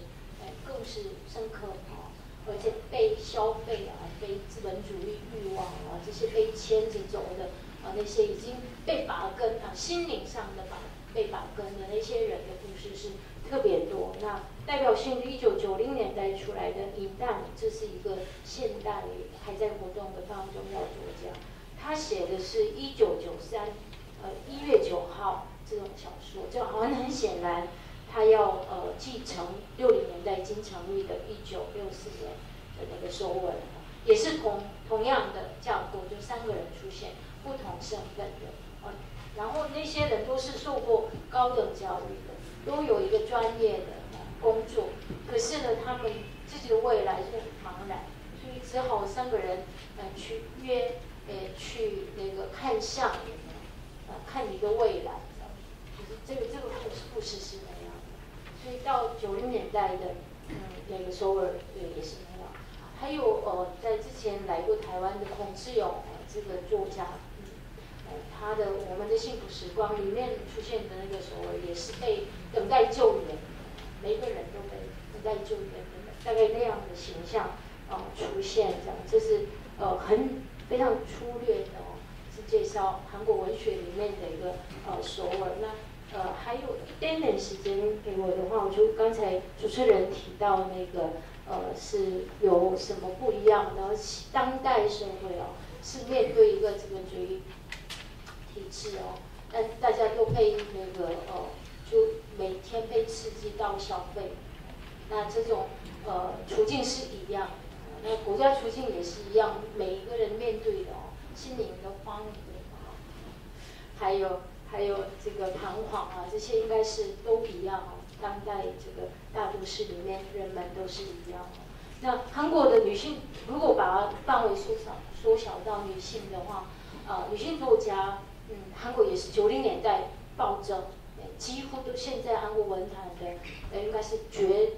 多数是女性作家，而且她们艺术性、文学性也很高，而且也卖座，诶，叫好也叫座的，所以通俗性跟艺术性非常谦卑的那些诶坚强的一个女性作家是非常多，一代一代诶是产生非常多。那呃，我们上次张老师提到的这个呃，正在办的这个研讨会上面，大家也讨论啊，现代东亚女性面对的问题这样。当然是非常传统的女性文学所刻画的两性问题啊，家人问家族的问题啊，这些或者找工作这些问题以外，呃，这些共同性以外，不一样的地方的话，呃，当时有我记得谈到韩国女性作家是特别对历史的报报复、负债感，更是比台湾作家多很多这样。所以我们讨论为什么这样啊，理由这样。对，呃大概这一点是可能，我现在记得是，呃，当时提出来不一样的地方，这样。好，那我先讲到这里。那，金老师应该也有一些补充的意见想跟大家分享啊。今天呢一个非常高兴的一件事情，就是跟各位报告，呃，这个郑老师哈。我以前这个一九九四年在中山大学，高中中山大学念博士的时候，他父亲是可以说是我老师辈的一位台湾很著名的一个诗人郑郑中敏哈，那是的。呃，以前我跟他他爸爸同台哈，今今天是跟他同台，感受是不一样啊。当时他好像是读国中嘛，呃，他们当时他他是他爸爸叫我说。跟他讲说，你叫他金金叔叔，哎，今天刚刚在这个书店门口遇到他的时候，他也是金叔叔这样啊。今天他是在台湾的这个电影这个方面啊，影评方面就是可可以说最全面的啊。我所以这一点是我今天非常高兴啊，这个是很高兴。二十年以前，这个时间过得很快啊。然后，呃，刚刚我们主持人说啊，呃，这个是。比如说韩国高中生毕业之后，女女孩子的话，父母亲送她这个整形的什么礼物啊？呃，这个是其实很片面性的报道啊，在台湾啊。因为啊，我经常看韩韩剧哈，呃，但最近的话都不看了，因为韩剧的话，我跟各位各位建议啊，就不要看韩剧了。为什么呢？这个韩剧一看的话，每天同样的时间呢，在在在等他，是很麻烦啊，对不对？各位知道吗？那所以如果说我们已经退休啊，就没事做，就有时候看哪，那年轻人就觉得不要不要看了，因为为了我们的未来啊，不要看这个这个韩剧，就就是这样的啊。我是这样的一个一个建议哈。然后我看到他这个整体的这个这些人韩国人说这个是人造人间哎我们说人造人间呐就是整体的人所以我看到电电视的时候有时候看去韩国看电视的时候我问我我我的孩那个孩子啊什么的哈这个是这个这个明明星是是不是整形过的？他是有整形过刚才 我不喜欢看人造人间的啊人人制造的那种人间嘛。我喜欢看自然的，对不对？嗯，是这样的啊。所以这个呢，虽然是流行，但是很多很多这个明星的韩国明星是整形是没有错了。但是，一般的人几乎都不会整形的，所以台湾的媒体报道的是不是说真实的哈，对不对？因为我是觉得哈，因为大家都是知识分子，有时候一些韩国的报道哈，不是说真实的很多了，哎，这个有时候啊，哎，这个大中国大陆报道的内容，对不对？哎，就这边呢，重点都没有过滤之后就直接报道嘛，对不对？因为大家都不是问题嘛，所以要自己要判断这个是不是真的啊，对不对？不要说盲目的就相信他们的那些报道内容，好不好？哎，好吧，这个是另外一个事情。哎，然后呢，呃，韩国跟台湾之间呢，呃，韩国跟台湾之间坦白讲，互相看不起的，互相看不起。呃，各位内心呢，就是不是看不起韩国？韩国也，去韩国的时候，这些韩国人，出版界的人问我说啊，啊，台湾人怎么想我们韩国人？我跟他讲说，韩国人怎么想台湾人一样的。他就没有没有说，对不对？啊，所以呢，出版方面来讲的话，在韩国啊，台湾的书几乎是没有。一年呐，中国大多数啊，这个人家问你统计，差不多有要那个政治法、那个经济什么的哈，文学，差不多有两千本中国的有关中国大多数啊。台湾的书没有几本。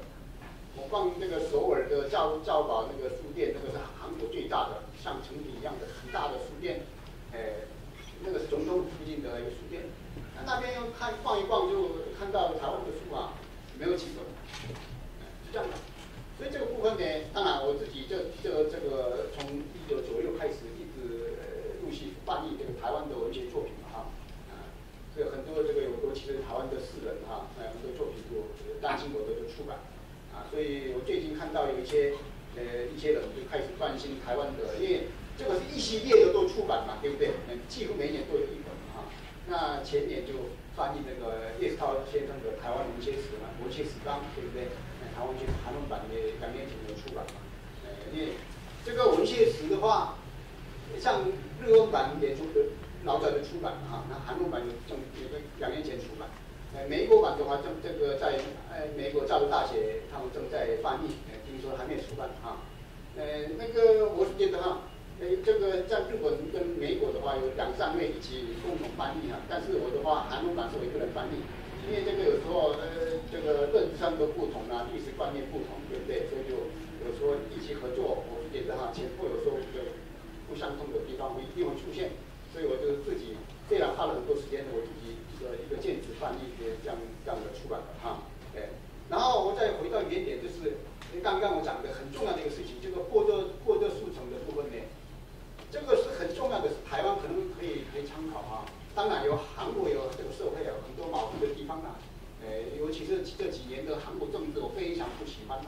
有有时候看韩国这个新闻的时候，不高兴我马上打架到那个韩国这个报报社啊，你们讲的对啊什么的。有时候我是无聊的时候会会去做这个。因为因为我爱爱韩国的名的，对不对？不爱的话我就不关心嘛，对不对？哎，所以这个我是这样是这样的啊。哎，那个我是觉得获得获得这个速成的部分呢，重点是政府啊，政府的力量来推动的。今天的韩韩流啊，呃，不是天天气冷的韩流，是韩国的韩哈。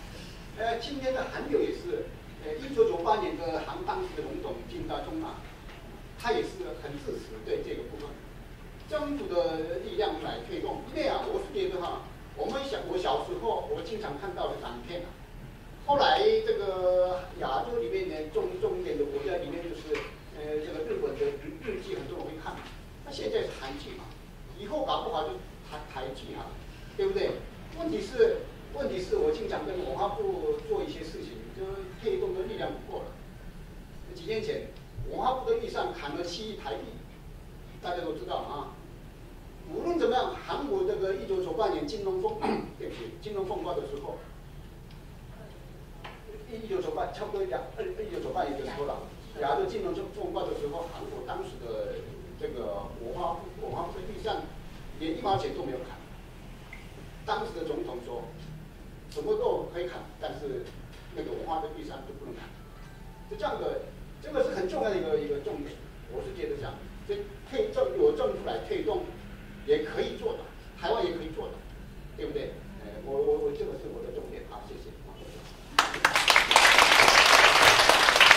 好，谢谢金老师哈。金老师提到一个我们可以借鉴的地方啊，就是彼此中那个台湾、韩国之间彼此的一个交流哈。那我们今天看起来好像是天南地北在漫谈哦。那其实从这里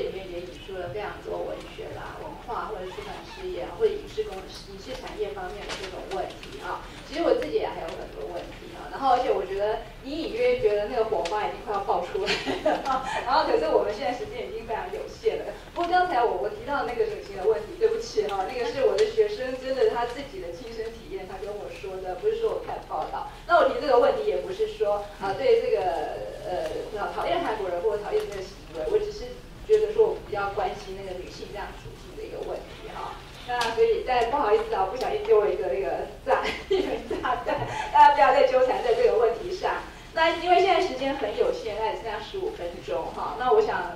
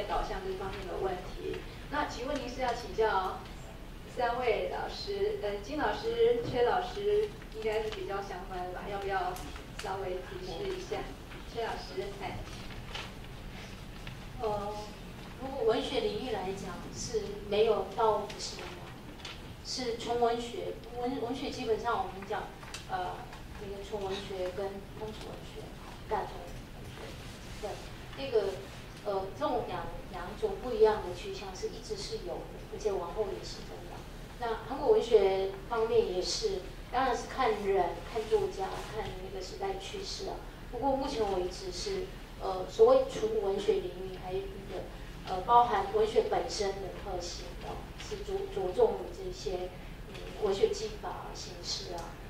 表现技巧这些。呃，上面很严谨的，是经营这一个纯文学的还是有，所以基本上不是整个牵着走，这样。那呃，网络文学当然有网络文学的自己的一个领域，那通俗剧当然也是通俗剧自己该做的地方，所以并不是呃，当然是有整个消费导向的或者商业导向的这个趋势是有，但是不至于到纯文学的空间都没有的那种状态，应该是没有。我觉得这个文学是呃反映当时社会的现实，所以韩国也是从古代到这个，比如说日记啊，也是当时社会的，那个看文献作品就可以看到当时社会是大概怎样的变化和变迁的一个部分啊。所以这个我简单来讲的话是这样，呃，所以就呃，比如说那个刚刚我讲的哈，呃，这个白色恐怖时代哈，恐怖时代什么的哈，这个时候的政治政治的文学作品呈现出来的哈，这个也是也是这样的这个道理啊，是这样的啊。我今天刚才。好，好，好，谢谢。那在场的朋友还有好。呃，我想请教那个金老师哈，那个呃很呃很庆幸的就是你你的一生正好有呃前半生在韩国，后半生在在台湾，那就是说虽然说我们有很多那个相通的地方，呃又是呃有有竞争也有合作哈，但是我我想请教就是说呃以你这么长期的观察。台湾这跟韩国的那个民族性最大的不同在什么地方？谢谢。好，这个简单来讲的话，就是呃，从这个日子开始啊，因为大家都知道，呃，这个马关条一八九五年以后到一九一三年，台湾的话，这个被日本殖民统治之统治之后啊，呃，曾经有十三次的呃七次的对七到一九一三年为止啊，七次的那个武将抗争事件啊。然后这个冲动失败之后，呃，当时的台湾的知识分子认为，呃，那武装抗争是比较没有效果，以后的话文化来这个抗争嘛。哎，但是从当时的这个韩国的话，从一九一零年开始被日本正式的殖民统治啊，但是从一九零五年开始啊，韩国的话，像各位有没有听过像安重根的哈？呃，因为当时的很多知识分子从一九零五年开始啊，韩国的知识分子开始自杀，为什么自杀呢？没有自己的祖国嘛，没有自己的祖国，我活下去没用啊，爱自杀。这很多人看陆陆续续的都知识分子自杀的这个过程当中，突然有一有一些人讲到说，哎，我干嘛自杀？自杀之前，我顺便把日本的那些人，对不对？领导人他把他把他暗杀之后再自杀也反正会死，对不对？有这样的想法，所以呢，从一九零五年这个时候，安重根之前也有嘛，从安重根开始陆陆续续啊。甚至于一九二八年在台中呢，赵明和事件也是当时的在台中市哈，诶，这个赵明和先生呢，他二十四岁的年底的时候，呃，就是暗杀，呃，企图暗杀那个当时的日本这个上将，呃，这个土地公庙啊，那是这样的哈，所以这个很多啊，殷逢机啊，什么很多人是这样的，所以这从这一点可以看得出来说，韩国的民主性是比较积极的个性啊，呃，积极的个性。然后，比如说，当然这个的话很复杂，那个职业的关系，我简单讲的话，因为台湾的话，呃，马关条就是这个庆日战争被打败之后就这个拱手，所以说割让给日本嘛啊。但是韩国的话，一九一年被日本侵占了，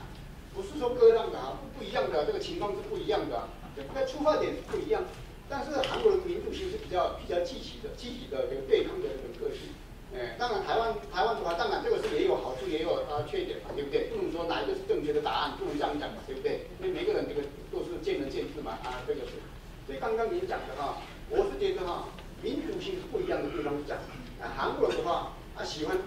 有时候喜欢喜欢抗议。我自己在八零年代在韩国读大学时候也是一样，我们也是，可能崔老师也有，啊，这帝帝国时候啊，我我被被警警察正报警察炸了这个十八个小时在。在在监狱里面，然后被被警察这个拦禁这个十二个小时啊，对不对？我不是很积极的分子啊，但是我是那个个子派的啊，但是他们就抓我，就是当时的这个大学生一半以上大学生被被抓起抓起那个啊拦禁很很多时间嘛，对不对？就这样，因为我们都经历过这样的这个岁月哈，对不对？所以就我是觉得哈，当然，哎，因为每个人个性不一样，但是我们重要的是。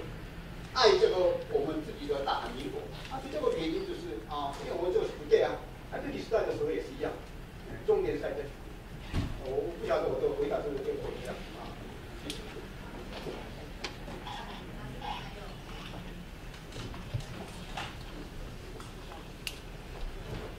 就是我刚刚有提到三位讲的都就是讲到还蛮多列下的，然后因为我自己是读过就是孔子勇，他有两个就是这种就是我们的性时光是台词还有就是荣辱是讲关于那时候就是就是性侵就是案件，然后就是我自己今年，然后因为我看了比较多韩国电影，然后我发现韩国的就是导演他们就是在很多议题方面都很就是就是他们不怕去谈到政治，或是对政府不满。像比如说刚才谈到奉俊昊他的四部，就是几乎都有提到，就是政他们对政府体制的不信任，或是对警察体制的不信任。然后因为我很好奇，就是说，我觉得台湾人现在会比较蛮关心我们自己的政治或现在自由体制，可是我发现，在我们的电影的，就是作品或者是或是书籍当中，就是我们会变得是要么谈就是很就是很就是没有像像我之前看有一部就是韩国电影叫呃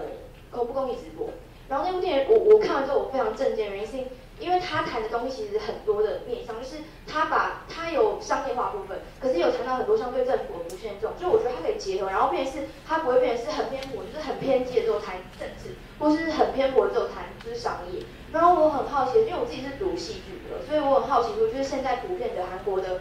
呃，就是艺术界人或是一般的年轻人，对于他们社会题的关注程度是怎样？对。郑老师要不要回一下？好，我先简单讲一下，因为其实我刚刚还有一点没有讲到是韩国电影的兄弟情谊，那我其实就是从兄弟情谊的这一点来讲韩国戏剧里头。韩国戏剧里，它不是单纯讲兄弟情谊很热血，或者他们混黑帮而已啊。比如说像《江南七一九七零》里头，它虽然是一个非常曲折的戏剧故事，可是它里头就讲到土地开发。那土地开发这个东西在台湾是非常，其实主要还是投资者啦。我认识很多导演都想要谈，包含像拍《女朋友男朋友》的杨雅哲导演，他现在也在讲一个比较官商勾结的运作，一个比较就每个导演其实心中，尤其像韩国有拍过，李沧东拍过一部叫《薄荷糖》。哦，讲那种抗争哦，那台湾其实有非常多导演都想要拍《野百合》或《美丽岛》，可是呢，这些就是其实台湾我觉得还是关乎，有时候还是关乎到投资者哦，就大部分投资者还是觉得就小确幸就好了那他们会觉得，那这个那或者另外也是，比如说像哎，真的有人谈的像。比如说，呃，军中队员还是卖不好。那当然，他卖不好不是只是说他谈的，可是大家不买账而已啦。哦，就是我觉得台湾观众在看待，在看待你这样一个戏剧里头出现这样一个比较尖锐的东西的时候，台湾连续剧之前以前拍过台湾百合，那在讲白色恐怖，拍了之后，你看立委卢秀燕他就公开说，大家不要再撕裂了。那你这样一个作为已经是一台台湾意见领袖的人，公开出来说拍只要拍政治的东西，就是在撕裂族群的时候，那其实越来这这就是变成一个自我牵制，这是我觉得比较可惜的地方。要不然其实蛮多导演都一直，所以现在比较谈政治都在哪里？公视礼拜天晚上十点的人生剧展，只有他比较在谈，或者一些短片，短片一些今年我当某个评审，短片一堆都在讲那个。可能去年受到阳那个太阳花的影响，很多都在讲他们返乡啊，然后返乡就发现家里要被征，家里的农地要被征收，很多很多拍那种异乡游子的故事都放进这样，或者他们那一块地要被怎么样，要被要被就污染着的这种情况要去抗争这样子，那我觉得这是好事情哦。可是因为毕竟那些都是独立创作，而且它比较不是一个产业的规模。比如说你今天世间情里头，他谈到，他也谈，他也可以谈到公众议题，可是他是在消费。他不是真诚的要谈，那韩国他是怎样？他们今天拍《石尾岛》，《石尾岛》就是在讲那个狱政、那个判狱的嘛。哦，韩国讲太极旗，他透过兄弟情谊去讲战争。但是台湾，台湾你，台湾现阶段应该没办法拍战争了，因为那个规格太大了。哦，可是小一点，你去批判社会，也不能没有你这一种大家都不太敢的哦。就我有个导演，我曾经问他说，他有一个外劳外劳题材东西很好，他为什么拍成电影？他说他也想拍啊，可是。应该没有人想投资吧？就是台湾人不喜欢看皮肤比我们黑的人的故事。哦，我说的是真的，这这不这是这不是大家在不是电影圈大家在餐桌上讲笑话，而是台湾一直有一种这种奇怪的一种一种一种这这这是一种矛盾吧？我想。那那个薛老师也文学方面的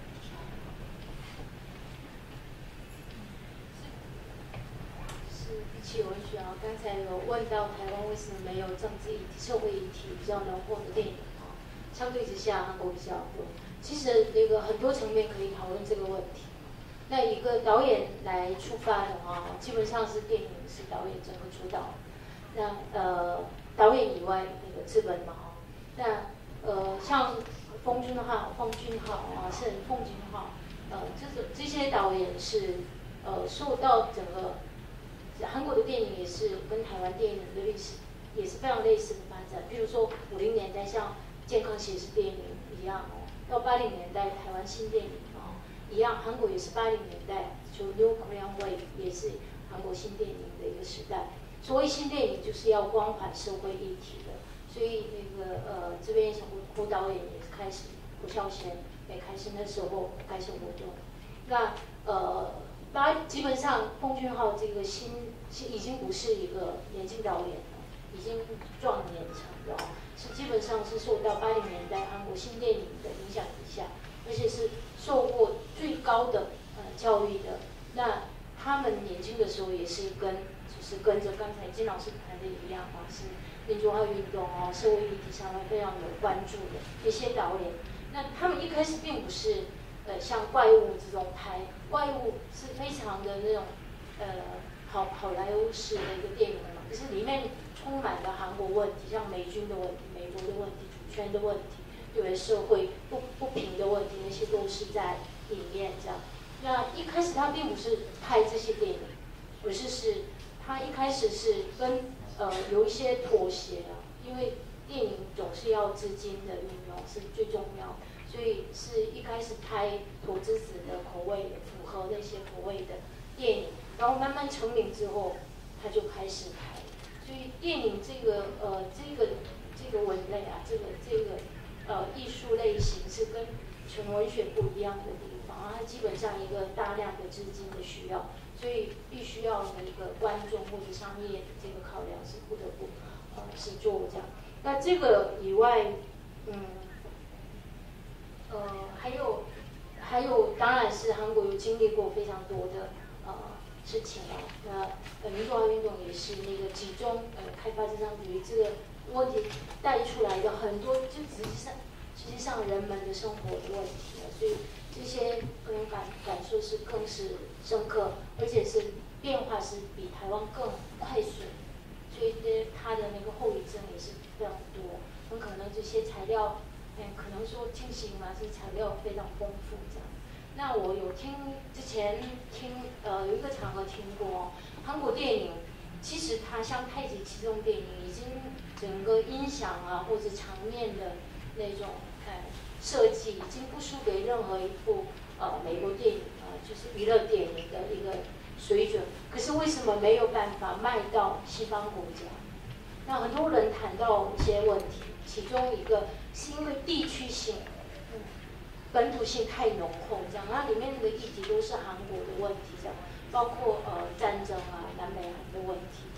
所以这些要怎么淡化才能变成一个？那可能奉俊昊最近。拍的那个雪国对雪国列车，应该是那样的一个呃尝试嘛。不过那个在韩国也票房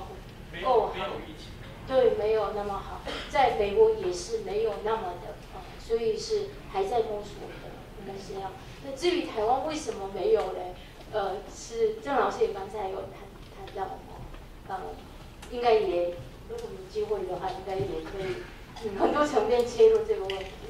依照就是呃各位有在现场那因为我们刚刚签到的前面有编号，那我们刚刚已经用那个手机的 APP 乱数抽签抽了五位民众这样子。那待会我念到姓名的民众可以到前台来，我们会请老师就是赠送给大家那个我们的文学季的呃纪念品是